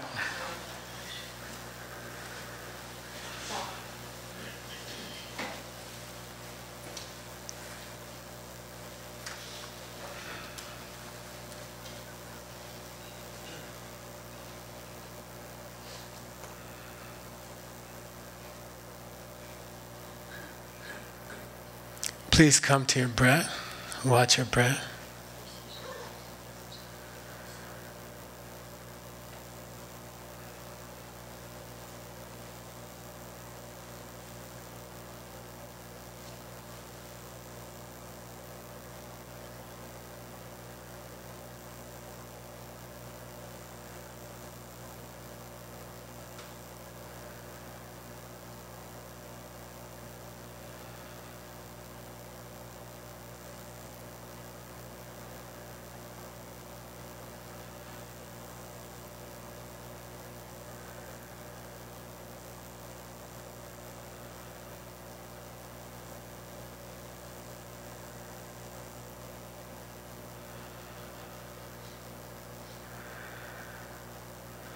Then imagine you are dying.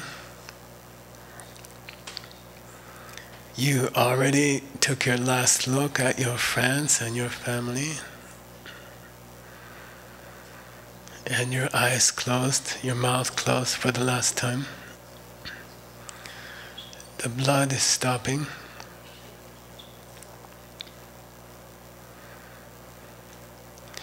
And your mind goes deeper inside.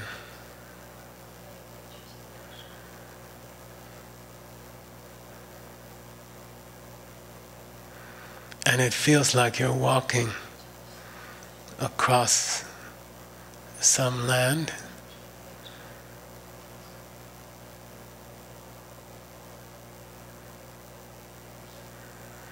You can think of this land. And in the distance, you can see a mirage. It means the solidity of your body, the earth element,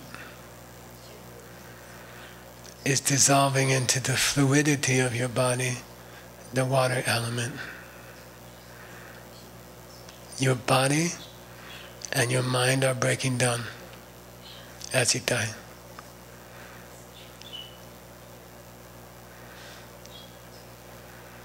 So you're walking across a vast earth, vast sky above, and in the distance you can see a mirage. And you are walking towards it.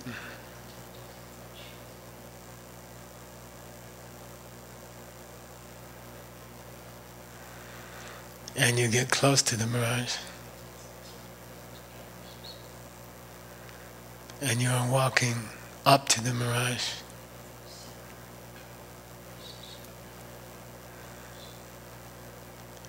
And you walk through the mirage. And on the other side of the mirage, it's like very smoky, like dusk. And you are surrounded in smoke. The fluidity of your body is leaving, and only the warmth of your body, the temperature of your body is remaining, and it feels like smoke. And you are walking through deep smoke.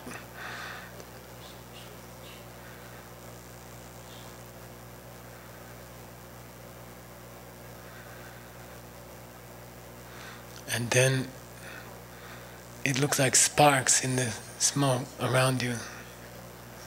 Small, bright sparks in the smoke, and you are walking through the sparks. The warmth of your body is dying, the body is getting cold.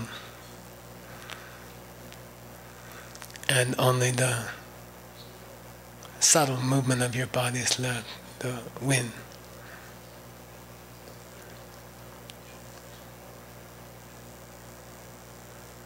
Then in the distance you can see a flame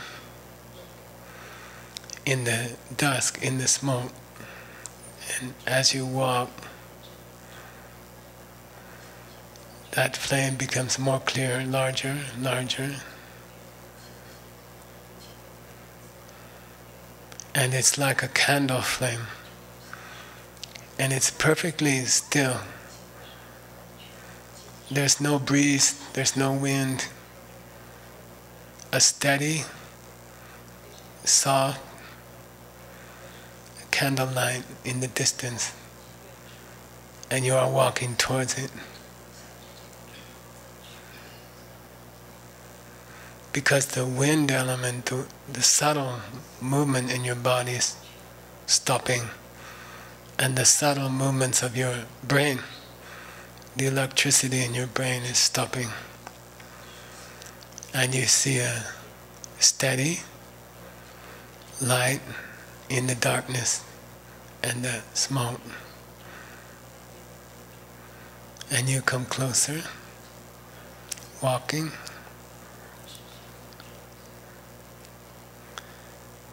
And the flame gets bigger until it's as big as your body. Silent. Everything is silent, completely still. Flame. And you walk up to the flame, and you step into the flame, and you come out the other side of the flame, and everything's dark, still dark. But as you walk on the horizon, in the far distance, you can see white light starting to shine. It looks like the dawn is dawning and a soft Lamewa means soft white light of daybreak is coming. And soon you are surrounded in soft white light. More parts of your body are shutting down, more parts of your mind are closing down. You are dying. Everything's a soft white light. you are still walking, but you feel much smaller, like in a tunnel, and towards the end you can see on the horizon a deep red light, like a sunset. And you walk towards this deep, beautiful red light. and then you're surrounded in the red light. And you keep walking.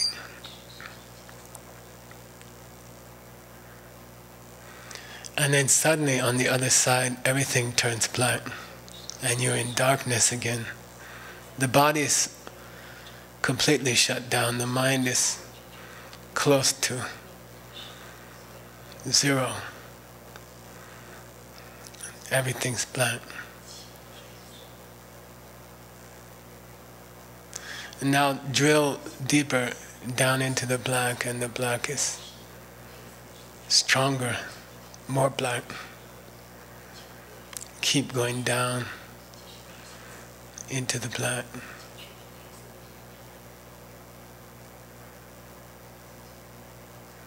and now even deeper black, more black, the blackest part of black.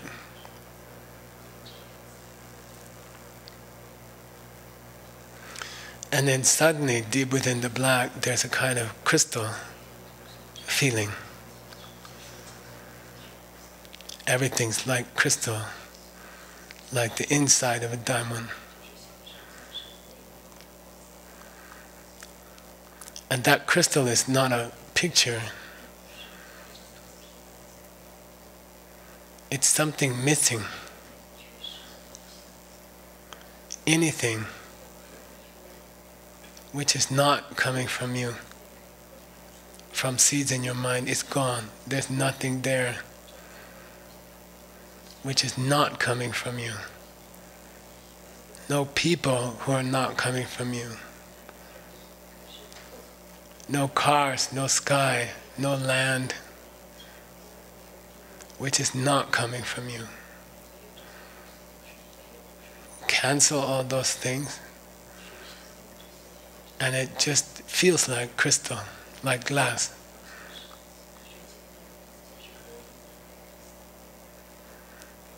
So recognize it for what it is.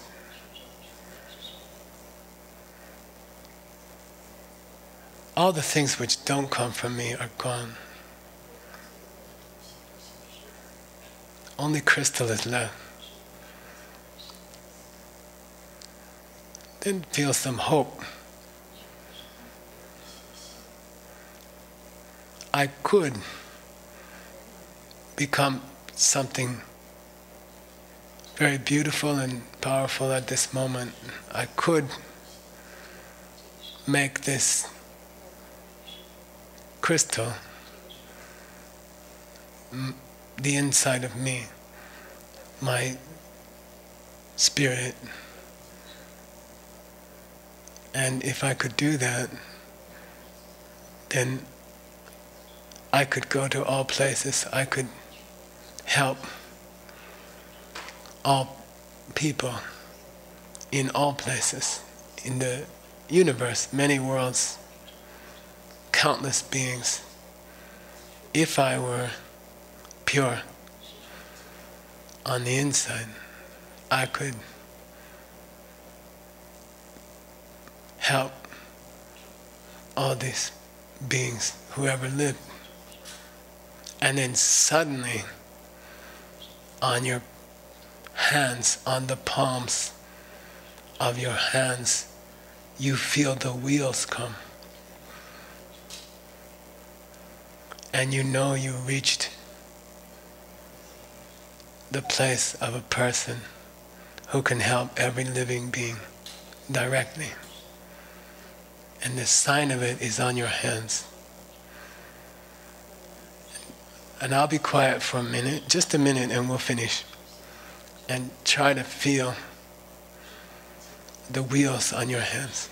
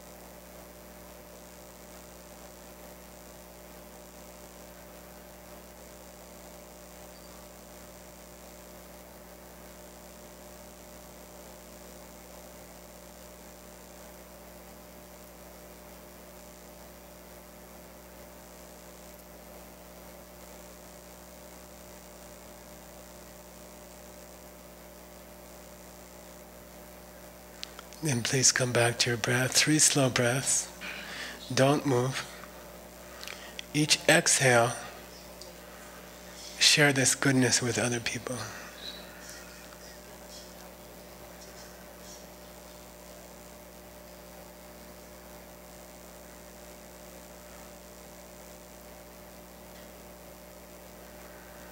Then you can slowly open your eyes. Mm. Take a stretch. Okay. Now I need Hero up here. Come help me with something.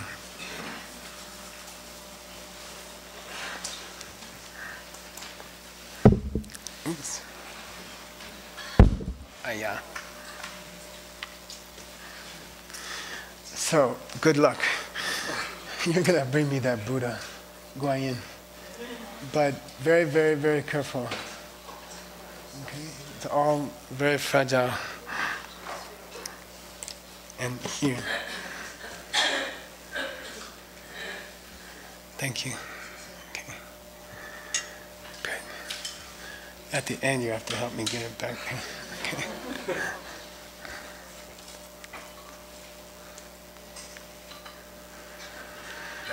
Okay, so again, I'd like to thank all the Chinese students who offered this. Very expensive, took a couple of years. And uh, I'm very grateful that they offered it to me, and thank you for that. I'll try not to break it. Very fragile. Mm. This is going to be your third meditation, and you can see it in the photograph. This is your third photograph, okay?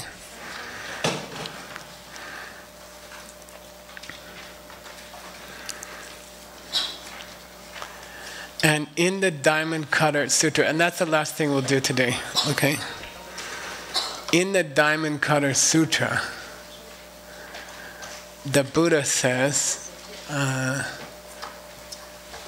because Buddha has all these signs, like these beautiful hands, or beautiful feet, or beautiful face, those are the signs of this Buddha, right? So, to understand emptiness of Buddha is important. Kamalashila makes a joke here. He says, everybody wants to look like a Buddha. And the way that everyone sees the Buddha, there's no Buddha.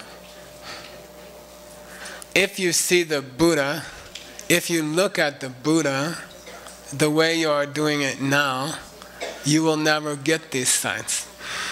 Got it? Everybody wants to look like this, like a Buddha. But the way you want to look like a Buddha is wrong. And the way you are looking at the Buddha is wrong.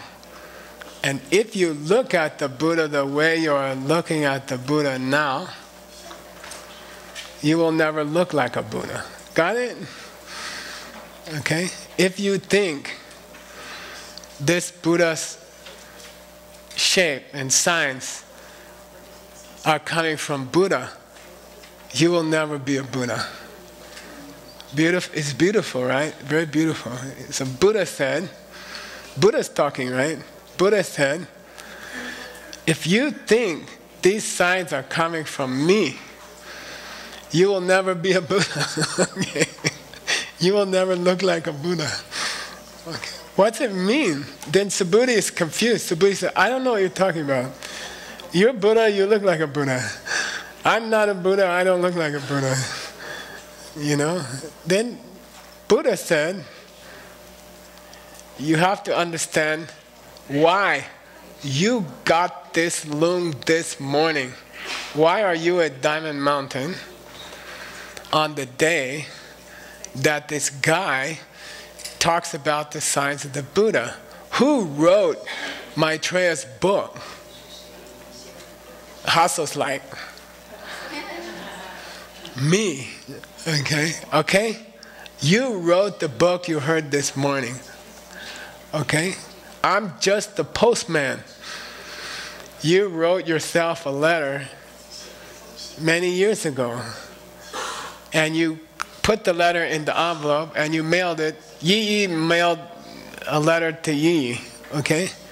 This morning, Geshe Michael delivered the letter to her. She made the karma to hear Maitreya's song. Okay? So you should congratulate yourself for the song. You wrote the song. Okay? And, and you wrote, you made the postman, which is Geshe Michael, to deliver the song to you. Okay? So in your third meditation today, you're gonna do two things. Okay? Two things. Number one, You can look on the picture, see these beautiful fingers. I think the first thing I'm going to break is the fingers.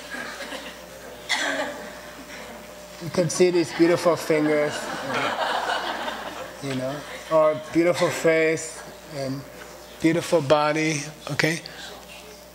One by one, separately, okay? So you have a photo there, okay? If you want to, before you go home today to your cottage, I'd like you to come up. We'll put her back in a safe place. And just look at her and look at the fingers and look at the feet. She has a nice treasure hair right there. Okay, zupu. She has one here.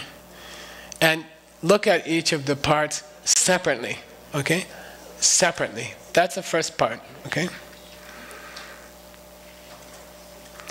When you look at the zupu, when you look at the treasure here, you cannot see the hands at the same time.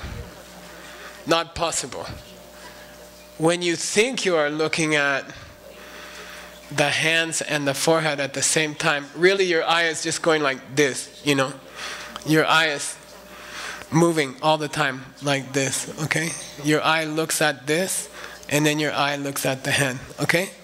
But you cannot see both at the same time, not possible, okay? Your eye is moving to the different parts, okay? There are, now listen, okay? This is the most important meditation today, okay? Listen.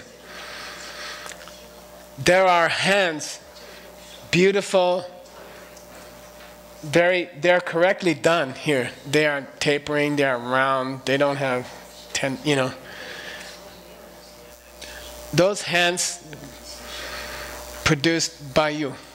This sign produced by you. Okay? Separate. They're all separate. The feet were produced by what's the bottom of the feet feel like? The tummy of a frog. Okay, uh, the commentary says it's the tummy. Okay, very soft. Okay, and and you are. Each sign is coming from different karma. Okay, got it? That's the first half of this meditation number three. Each sign coming from karma. And each seeing each sign coming from karma. Your karma. Okay? Who who who made this Buddha? In the factory in China? No, you made the factory. Okay? Now, last thing, then we're finished, okay? Who glued all the parts together? Who made Buddha? Who made Buddha's form body? Who put all the parts together? You did. Okay? That's the whole Buddha. Okay? You glued the parts together. You connected the hand and the feet and the face, okay? Your karma made each part, and your karma put it together, okay? Otherwise, there's no Buddha, okay? Got it? That's what it means when we say the Buddha's physical body is empty. Okay? Coming from you. You made each part, and then you made the karma to put it all together. Okay? Then when people get Alzheimer's, when they get very old, they, that gluing karma starts to finish. And they cannot remember what happened yesterday. Or they look at you and they, they can't, you are their own daughter, you are their own son, they cannot recognize you. Okay? This gluing karma is finishing, okay? Got it? So I encourage you, after the class, come up close, take a good look at this Guanyin, okay? And then understand who made it, who made each part, and who, who put it together into Buddha's body. And that's why in the Diamond Cutter Sutra, Buddha said, those signs are impossible. And the whole Buddha is impossible. Okay? What's it mean? Yeah, the postman didn't make it. You did. Okay? Fingers that were made by somebody else, impossible. Okay? Buddha that was made by somebody else, impossible. Who put all the pieces together? You did. Pieces which are together automatically, impossible. Something has to cause it. Something has to cause it. And it's good, doing good things to other people. Doing good things to other people. Put this Buddha together. Okay? Got it? Made the fingers, made the head, made the mark here. Then, because you are nice to other people, it puts it together. Okay?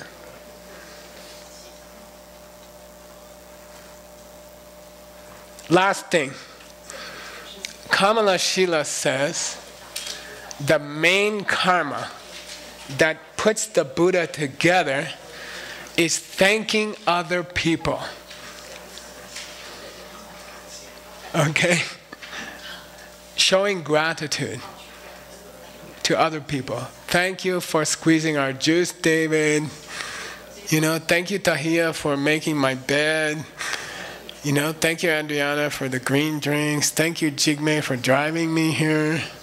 The main karma that puts all the parts together, says Kamalashila, is thanking other people, being grateful to other people. Okay, got it? All right? And we'll talk more about that. Okay? So you're going to work on those three meditations today.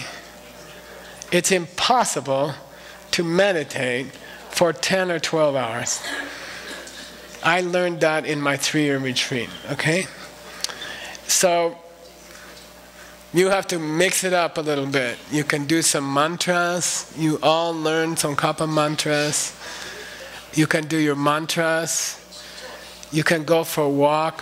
When you go for a walk, wear a hat, cover your skin don't get these spots, okay?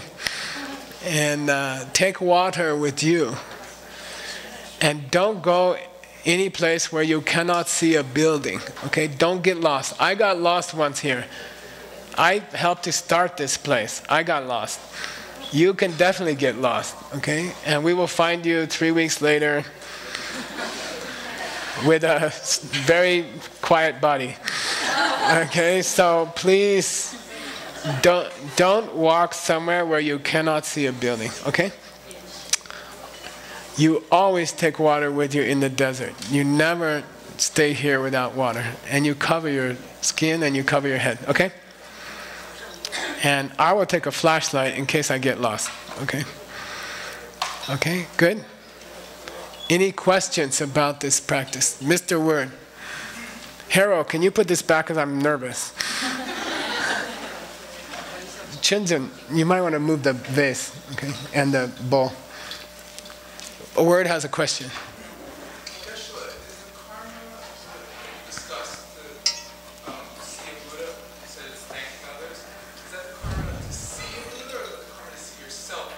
Both.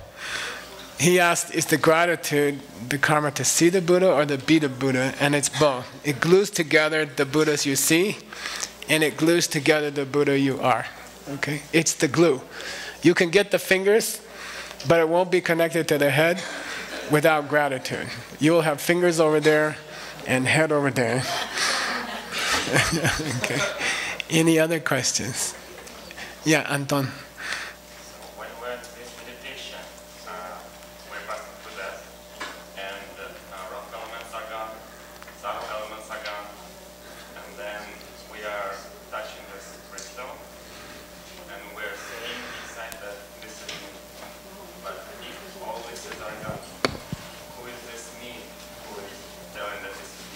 Yeah, good question. We're going to cover it later. Anton said, Who's the person saying this is me if that's not me?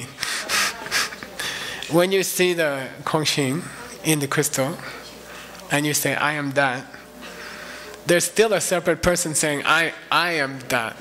And uh, he's going to, it's a big subject in the Dhammapada Sutra. So Subhuti always asks the question to come tomorrow. Any other questions? Uh, okay, last question. Wait, there's a microphone coming. Thank you, Michael. I just came yesterday, so sorry. I, I hope I can I can hear the how to say 宗喀巴心咒.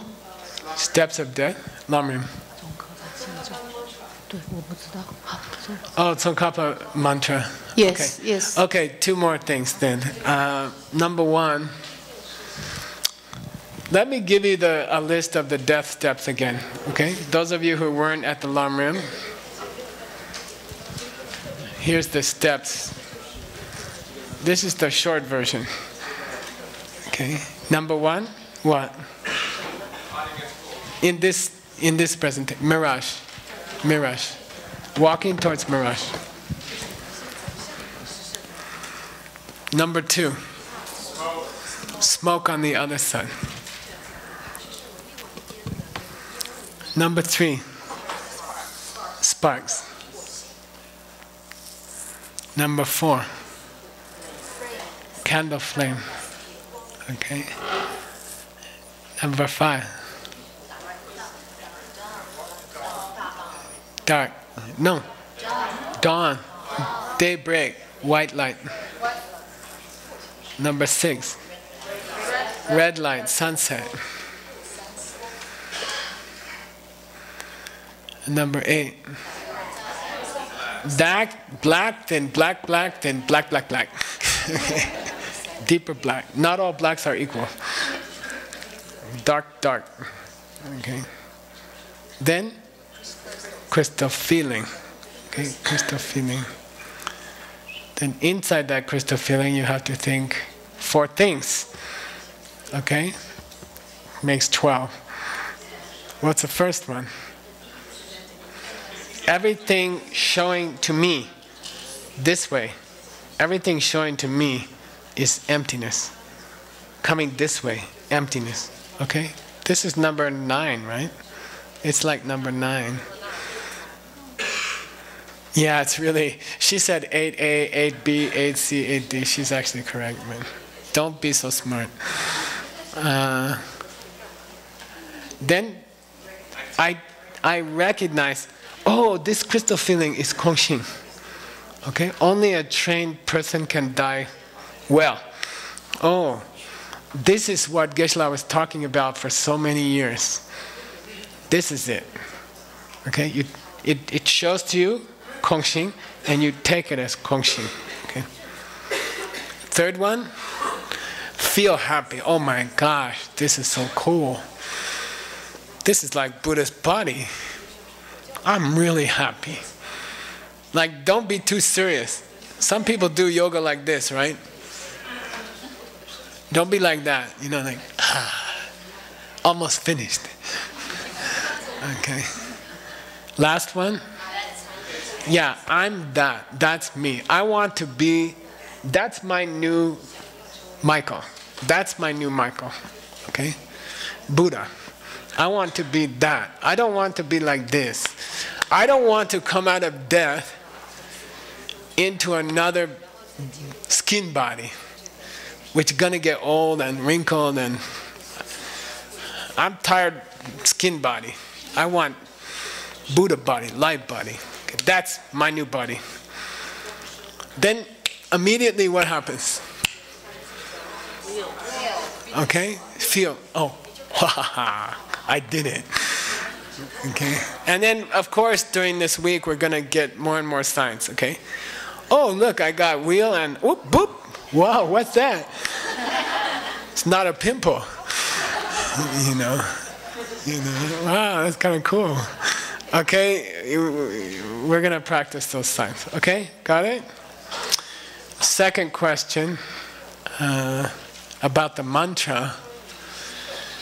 Uh, today, when you go into meditation, you should have a three treasures prayer book. There's a prayer book, which you can get in the bookstore. Am I right?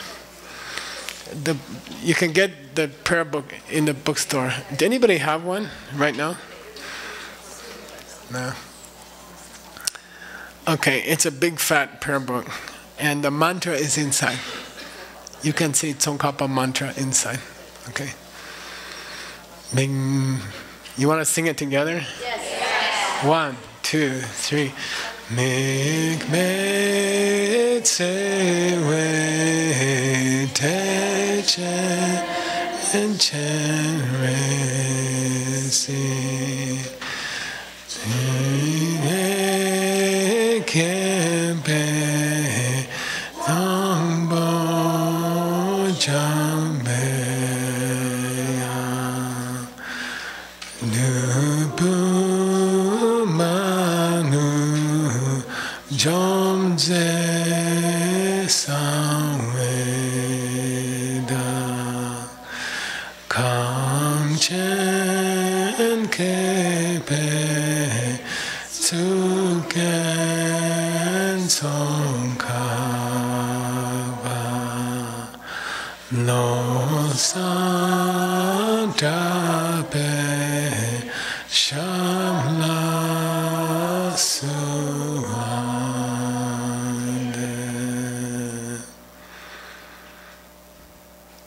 Like that.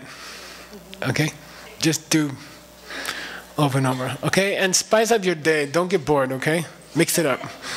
You can read the signs. Get familiar with the signs okay? Uh, those of you who it's nice to memorize in chinese or english or spanish or tibetan. Those of you studying tibetan to memorize those lines of maitreya is very powerful okay it's a custom okay? All right then